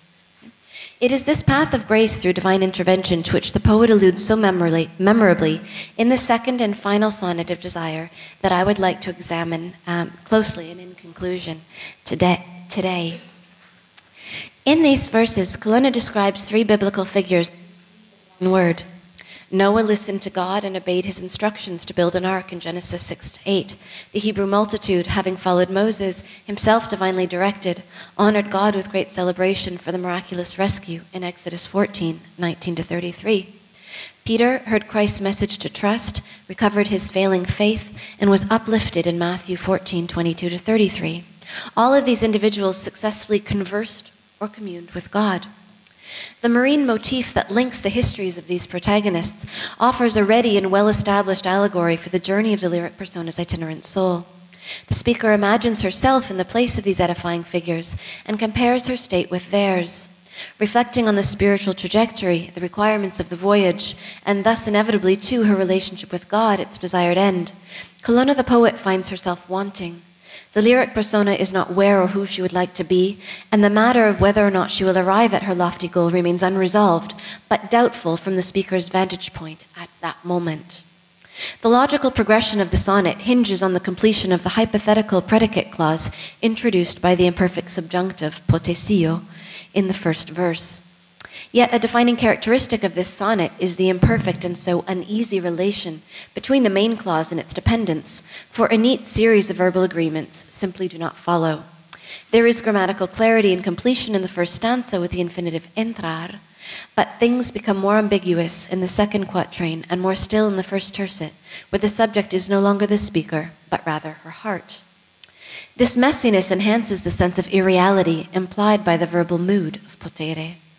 While the lyric persona's fate hangs in the balance, and we are not sure how or if she will progress spiritually in the future, as readers, we are left with the impression that it is more a matter of if only than if then. The reason for this unfulfilled desire is or lies within the speaker herself. The expression esser mio in verse 12 is polysemous, though it might best be translated as state, as Abigail Bryndon has rendered it.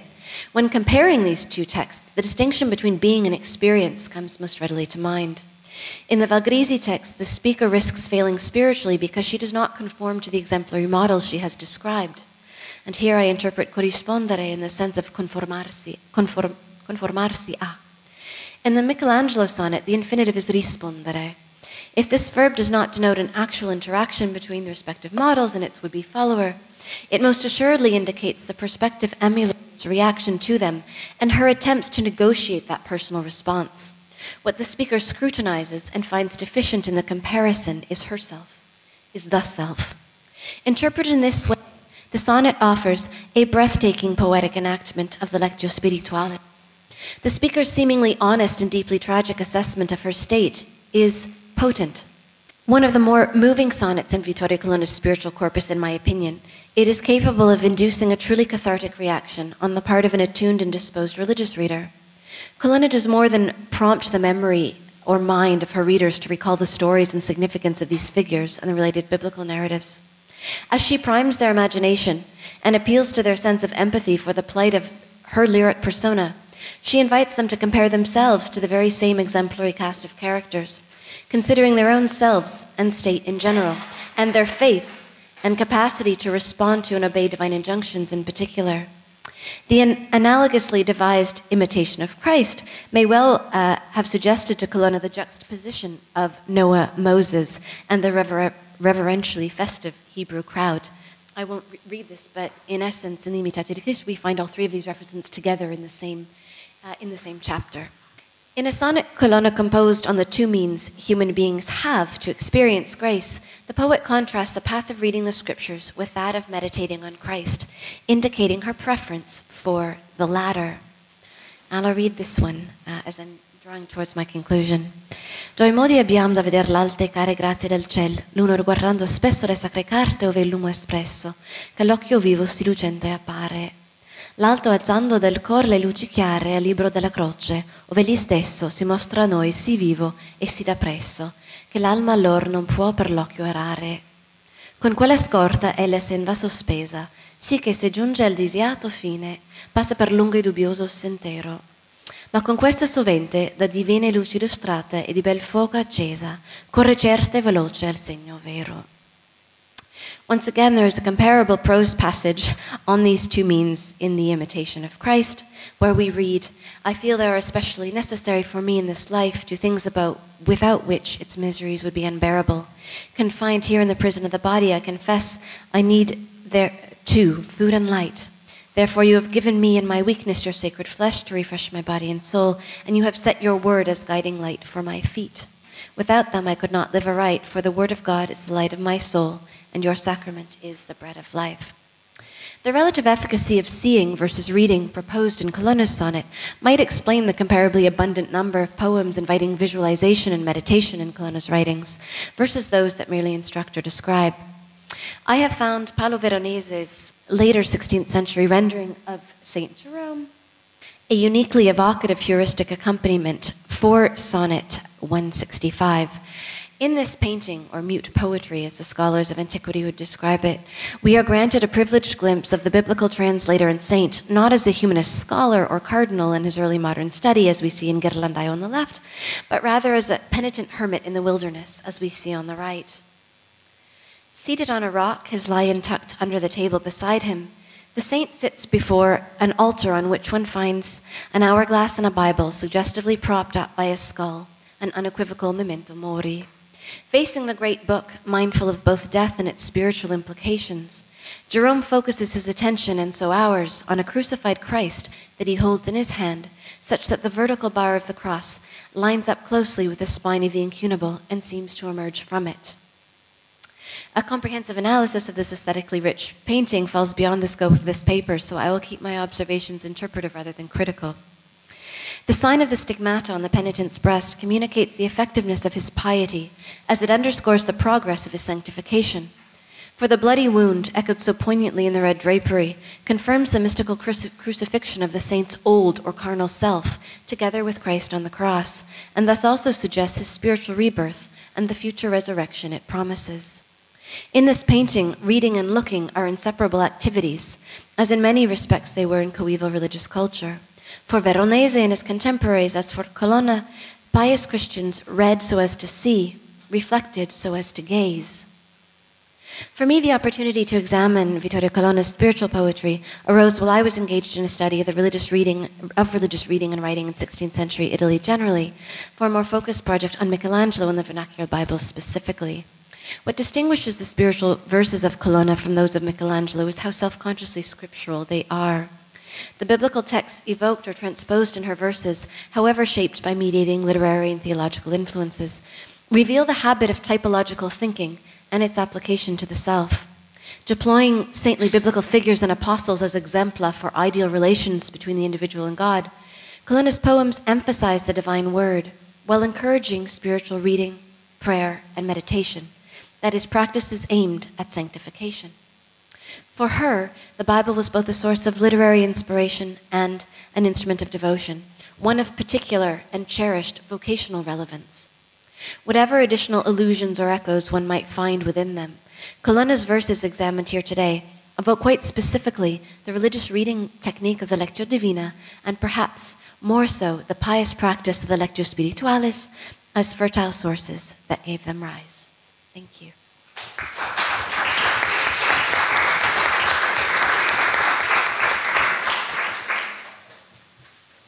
Grazie a Sara per questa relazione che ha mostrato il doppio valore della, delle sacre scritture no? come fonte letteraria e come strumento di eh, culto e di meditazione introspettiva per Vittoria Colonna Ora direi aperta la discussione, quindi se ci sono interventi e domande da parte del pubblico, i relatori sono per voi. Grazie a tutte e tre le relatori. Ho una domanda per, um, per Veronica, che ci ha dato secondo me un, um, un'analisi molto convincente, pieno della, della probabilità, direi, della, um, che l'epigramma sia della colonna. Poi mi chiedo se, se ci sai dire qualcosa a proposito del, del contesto più largo, let, eh, cioè sociale, letterario, che potrebbe darci altre informazioni sulle, sulle possibilità di una relazione entro i due autori. Chi era? Daniele Fini? Daniele Fini era il figlio di un altro umanista più, più noto della corte ferrarese e quello che si riesce a raccimolare è più sul padre appunto che sul, sullo stesso Daniel. Sappiamo qualcosa della vita a corte della colonna, sappiamo che recitava i sonetti, sappiamo che incontrò varie tipologie di personaggi religiosi, da Ochino ai gesuiti a, agli esponenti anche del, insomma, eterodossi francesi, insomma, eh, sicuramente a Ferrara condusse una vita aperta a tantissime esperienze differenti e probabilmente non soltanto dal punto di vista religioso ma anche letterario. Frequentava la corte, erano amici stretti, quindi non stupisce che frequentasse anche gli altri letterati della corte. Però si sa poco, pochissimo su questo umanista che era veramente un minore, insomma, della, della corte. Io avrei una domanda per Serena e un'osservazione per Veronica. Um, ho trovato molto interessante la tua relazione, in particolare questa proposta che la categoria di poesia epistolare andrebbe allargata fino anche ad abbracciare il tipo di poesia indirizzata a personaggi, ad esempio santi, figure religiose, molto suggestivo. Comunque la domanda era, mi ha sempre affascinato quella lettera che hai citato di, che scrive a, a Castiglione parlando del cortegiano, che mi sembra la lettera rinascimentale che io abbia letto più vicino al, all'idea moderna della recensione di un libro. E doveva essere, è molto diversa dalle altre lettere che lei scrive, che anche quella lettera bellissima a Bembo che hai citato anche, in cui ci sono questi momenti di critica letteraria, anche lì non è una recensione così. E mi chiedo in quale quale doveva essere la circolazione di quella lettera? Sembra una lettera molto pubblica, è quasi un, un dono che fa a Castiglione perché lui possa circolare. Eh sì, eh, io sono molto colpita, per questo poi lo cito, cito questi brani, dalla acutezza, dalla assoluta acutezza, cioè lei fa delle osservazioni che potremmo fare noi, questa è di una modernità assoluta, questo discorso sul suo volgare, che peraltro, come sappiamo tutti, era lungi dall'essere accettato da, da tutti, no? cioè lei, lei, parla con Bembo, no? che ha un'ipotesi completamente diversa di volgare, no? eppure Bembo è l'autorità. Invece lei riconosce a Castiglione in quel modo così acuto eh, l'invenzione di un volgare moderno che, che, gareggia con il latino, cioè una cosa straordinaria. Anch'io mi sono chiesta, perché tu, tutta la mia curiosità, come si capisce eh, in questo lavoro, è, è proprio quella di, non, di, rifiutarmi tra epistolare e non epistolare, che mi sembra una sciocchezza, no, mi sembra una sciocchezza che si può capire che rientri nell'esigenza di corso. Infatti la cosa che mi ha colpito di più è che è da lì che ha origine. È, e lì si capisce, perché lui ha un'esigenza, ricostruisce interamente, fa un'altra, fa un'altra cosa, quindi lì si, si può capire. Eh, in Bullock mi pare meno, meno comprensibile no, questa scelta. Mi sembra che la cosa interessante che non abbiamo ancora chiarissima, un po' ci sono degli studi ormai su questo, ma ancora non abbastanza, è quanto, per l'appunto quello che chiedi tu, no? quanto potesse circolare quella lettera.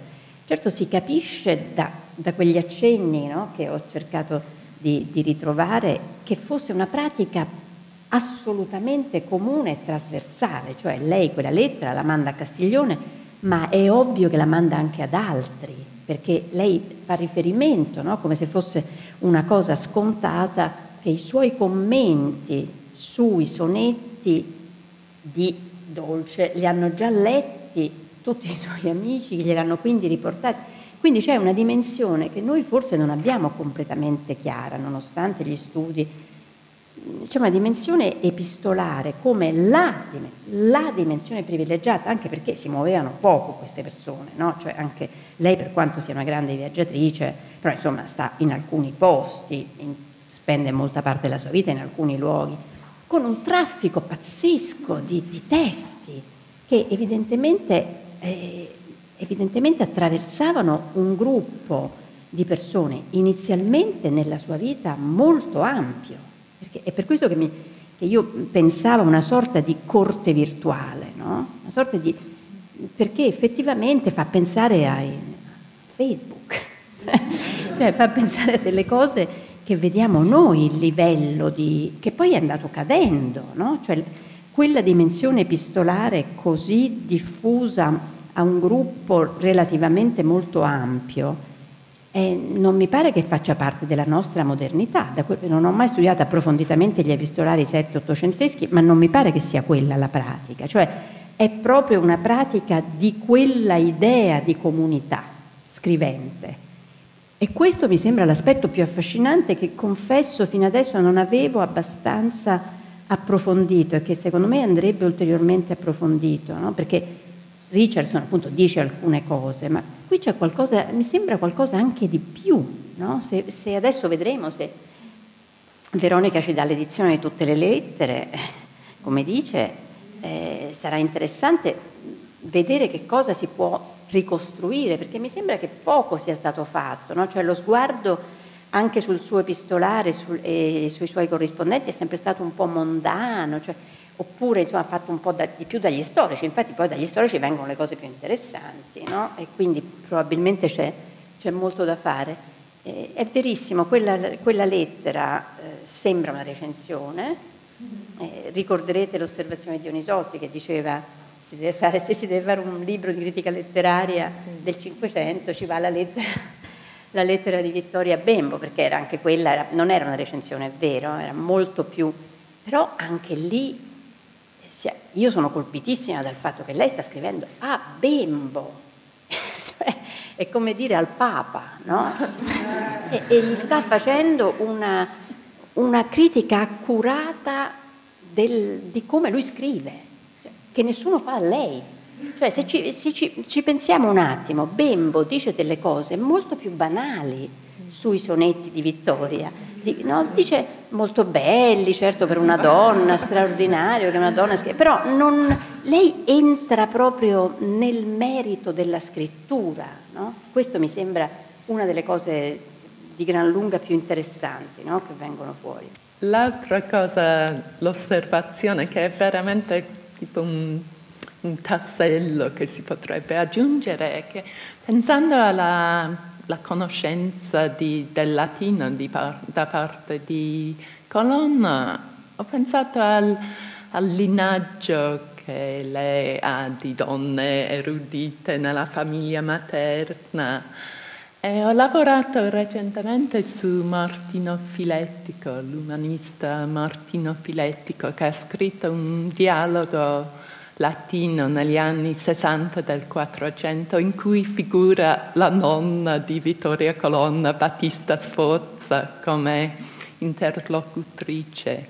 E lei parla, è rappresentata in questo modo molto erudito, nel senso che um, ovviamente ha studiato non solo il latino ma anche il greco, eccetera. C'è anche un, una poesia che Filettico scrive dopo la morte di Battista Sforza, che è quasi un epitaffio in verso, in cui parla del fatto che Battista Sforza componeva epigrammi in latino, che sono ovviamente andati persi, ma questo potrebbe forse indicare un, un livello di conoscenza del latino eccezionale anche in famiglia. Sicuramente la tradizione urbinate in qualche modo le è arrivata. Non abbiamo attestazioni che Vittoria abbia poi in realtà vissuto di quella cultura, che in realtà risaliva alla generazione evidentemente precedente, se non due generazioni prima. Pochissimo sappiamo anche di Agnese, eh, la madre di Vittoria, quindi si può assolutamente indagare quel poco che ci, la storia ci tramanda. Grazie.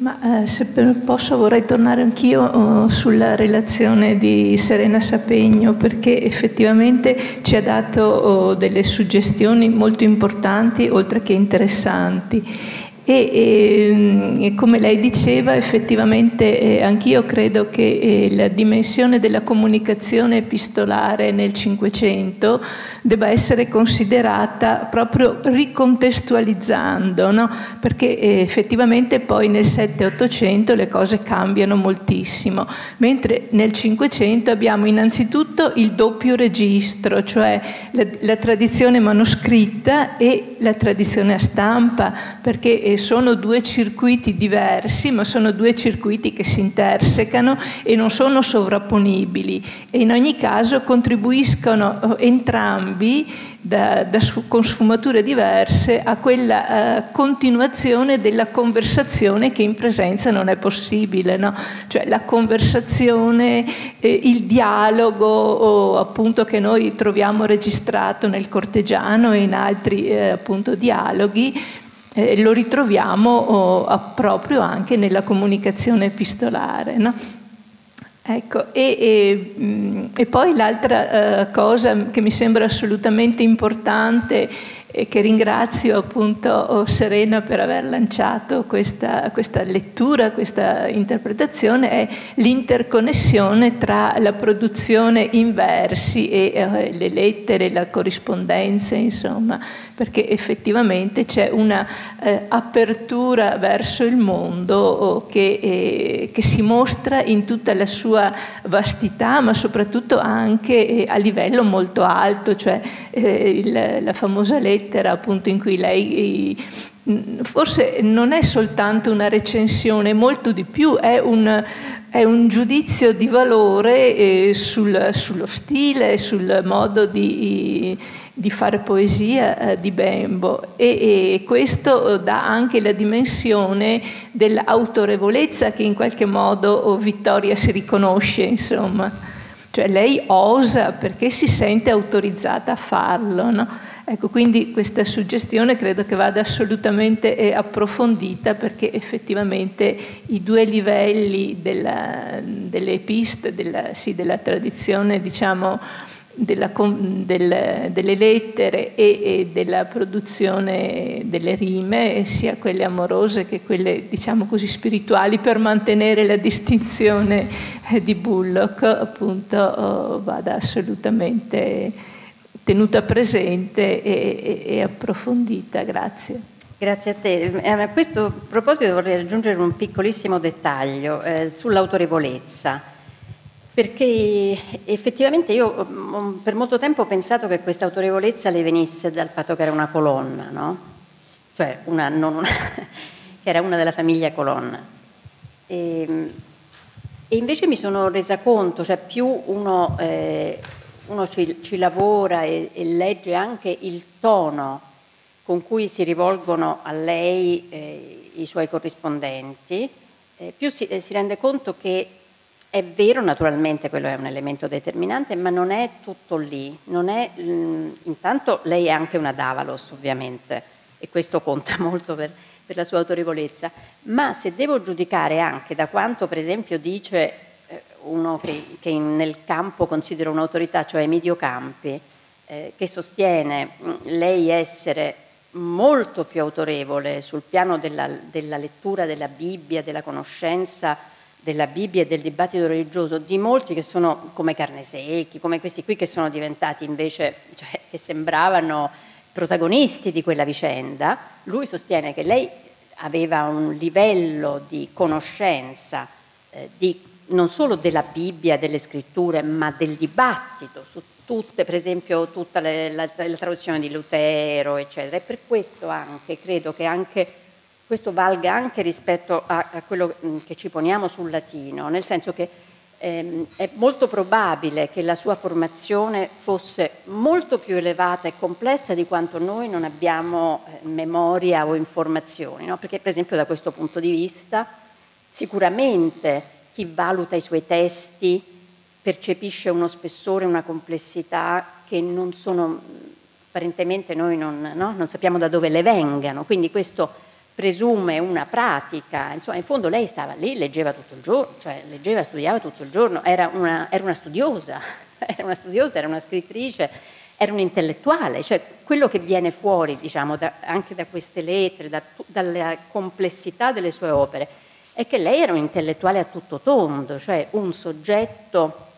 da questo punto di vista eh, pienamente al centro del suo tempo, con eh, una, una, lucidità sul piano politico, religioso, letterario e linguistico di, eh, scarsi, di, no, di veramente di, di, rarissima presenza in altri, no? cioè questa complessità di, competenza così a tutto tondo. Insomma, era una, era una cosa che avevano ben, insomma, alcuni grandi personaggi no, che noi siamo abituati a considerare dei grandi personaggi. E forse quello che non abbiamo capito abbastanza, che era un po' anche quello che diceva Virginia questa mattina, è che stiamo parlando di, un, di una grande personaggio.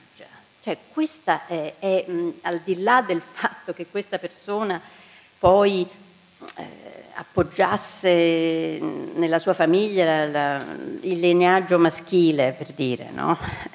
e pensasse che quella fosse la cosa da fare, eccetera. Però stiamo comunque davanti a un personaggio che ci hanno raccontato come, sì, insomma, una petrarchista, certo, no? Cioè, sì, certo, una, una moglie di gente importante, figlia di gente importante, sì, aveva una pratica. No, no, non è che per caso Carlo V le chiedeva parere, non è, un, non è per caso che il Papa eh, doveva, no, doveva, tenere conto della sua opinione anche rispetto a quello che si faceva per i cardinali. È, è, fa tutto parte di, una, di uno spessore del personaggio che noi facciamo fatica fino in fondo ad attribuire a una donna che ha vissuto praticamente reclusa la maggioranza della sua vita No?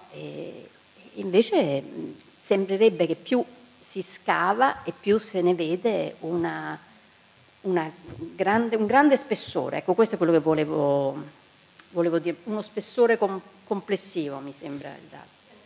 Troviamo spesso questa assimilazione nelle lettere del Cinquecento, invece un suo contemporaneo, uno che l'ha conosciuta, la paragona appunto per saggezza e per eh, proprio per profondità concettuale eh, a questo personaggio biblico, cioè a me ha colpito molto.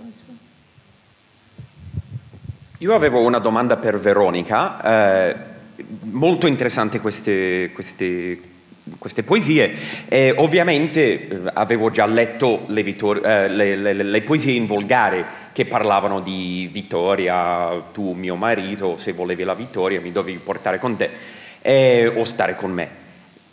Comunque l'ho trovato molto interessante che qui la chiave è completamente diversa e a me, a mio avviso, sembra che nella sua risposta c'è un, um, un riferimento abbastanza esplicito a San Paolo e l'idea della vittoria della croce, no? eh, eh, dedit nostra, uh, dedit nobis uh, victoriam per uh, Gesù, no? E, e, quindi l'ho trovato molto interessante che nella, nelle poesie in volgare c'è un, ehm, diciamo, un approccio diverso alla, al, all'idea di vittoria, chi sono io vittoria, cosa vuol dire il mio nome in questo contesto, mentre qui sembra completamente diverso. E quindi volevo sapere se, se avevi notato un, um, diciamo, una divisione tra il gioco di parole in volgare in latino oppure se eh, eh, se, se, c'è qualcosa di, di eh, diciamo, teologico qua sotto.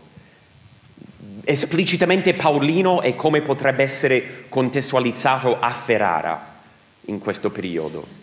Eh, ci hai fatto tre o quattro domande contemporaneamente. Allora, è sicuramente il passaggio, come già dicevo, tra la percezione che lei aveva usato nelle, nella, nell'epistola, nel, nella lettera a Carlo V, ma che tutta la tradizione in versi e in prosa eh, de, degli altri autori verso di lei sicuramente viene tutta rifunzionalizzata, risemantizzata in senso cristiano. Questo sicuramente c'è un passaggio netto che riflette anche il suo passaggio esistenziale e poetico proprio nell'arco di quei tre anni, dal 34 al 37 diciamo, eh, quindi questo passaggio c'è sicuramente. Sappiamo dell'affetto, direi affetto proprio per le, per le epistole di San Paolo, sappiamo che andava a ascoltare i predicatori di tutti i tipi eh, che commentavano, eh, il più eterodosso e il più ortodosso, a sentire i commenti di San Paolo. Sì, sì, proprio per questa sua apertura a 360 gradi. Sulle influenze ferraresi della concezione di Vittoria mi trovi un po' impreparata, ecco. Non ho idea. Eh, appunto anche eh, complicato indagare perché ascoltava tutti, ascoltava Ochino, i gesuiti, eccetera. Why not? Si può, si può approfondire. Grazie.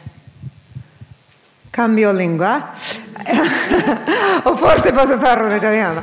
Ok. Um, Sarah, I don't know if you're familiar with, there's a very important book in my traditional field of uh, Renaissance English literature called The Poetry of Meditation by Louis Martz, who was a great scholar at Yale. And the argument of that book, which is centrally about the spiritual sonnets of Donne, Southwell, mm-hmm. and several other poets, is that the sonnet was the perfect form for a kind of Jesuit meditation. So that mm-hmm. what the sonnet of the 16th century in England did was to take St. Ignatius's meditation and transform it into a poetic genre so that mm-hmm. the actual breakdown of the sonnet, you know, that the, the quartina becomes, you know, the, the conjuring up of the, the composition of place.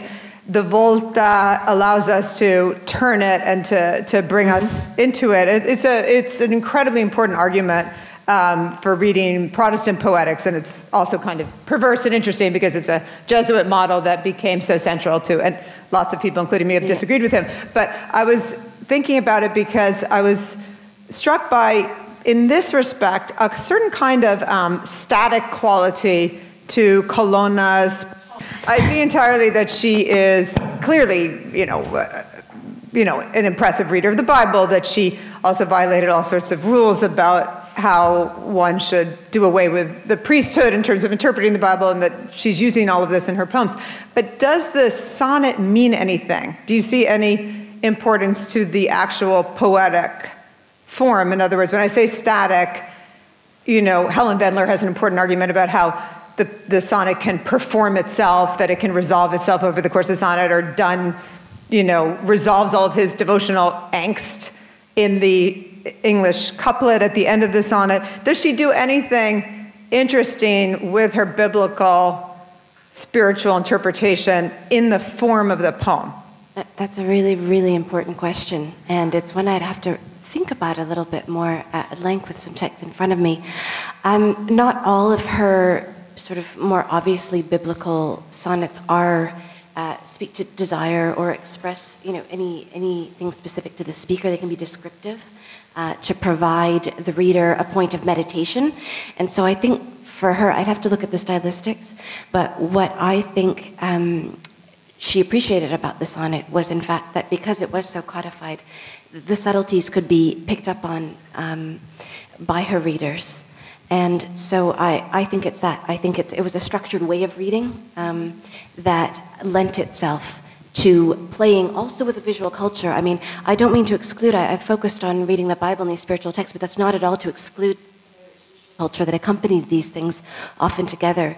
And so I think part of that, that static um, um component that we, that we, that static um, quality that we find in her poetry, I think somehow um, has to do with the visual, uh, an appeal to the visual. Um, I'm not sure if I've answered your question. But um, the, the overlap between um, yeah, her biblical poetry and some of the other themes I've touched on, really, one can only discuss a few poems in detail to pull this out. Um, much more pertains, I believe, with the veggio and the, and the seeing to a much more visual appeal, um, for which I think the sonnet was just a popular form. Una domanda? Sono molto d'accordo con l'assegnare al registro epistolare anche i sonetti a un tu, che sono poi una preghiera alla Vergine e ai santi che nello specifico della raccolta Michelangelo accompagnano proprio la poetessa come fosse un, un, un calendario liturgico, no? un, accompagnano lungo tutto l'anno, quasi verrebbe da dire. No?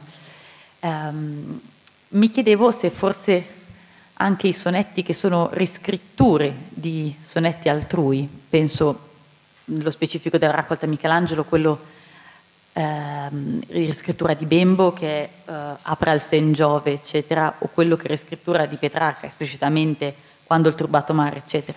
In fondo sono un dialogo a distanza, quello a Petrarca in particolare, no? come se gli rispondesse letteralmente per le rime, ma ribaltando anche qui il punto di vista.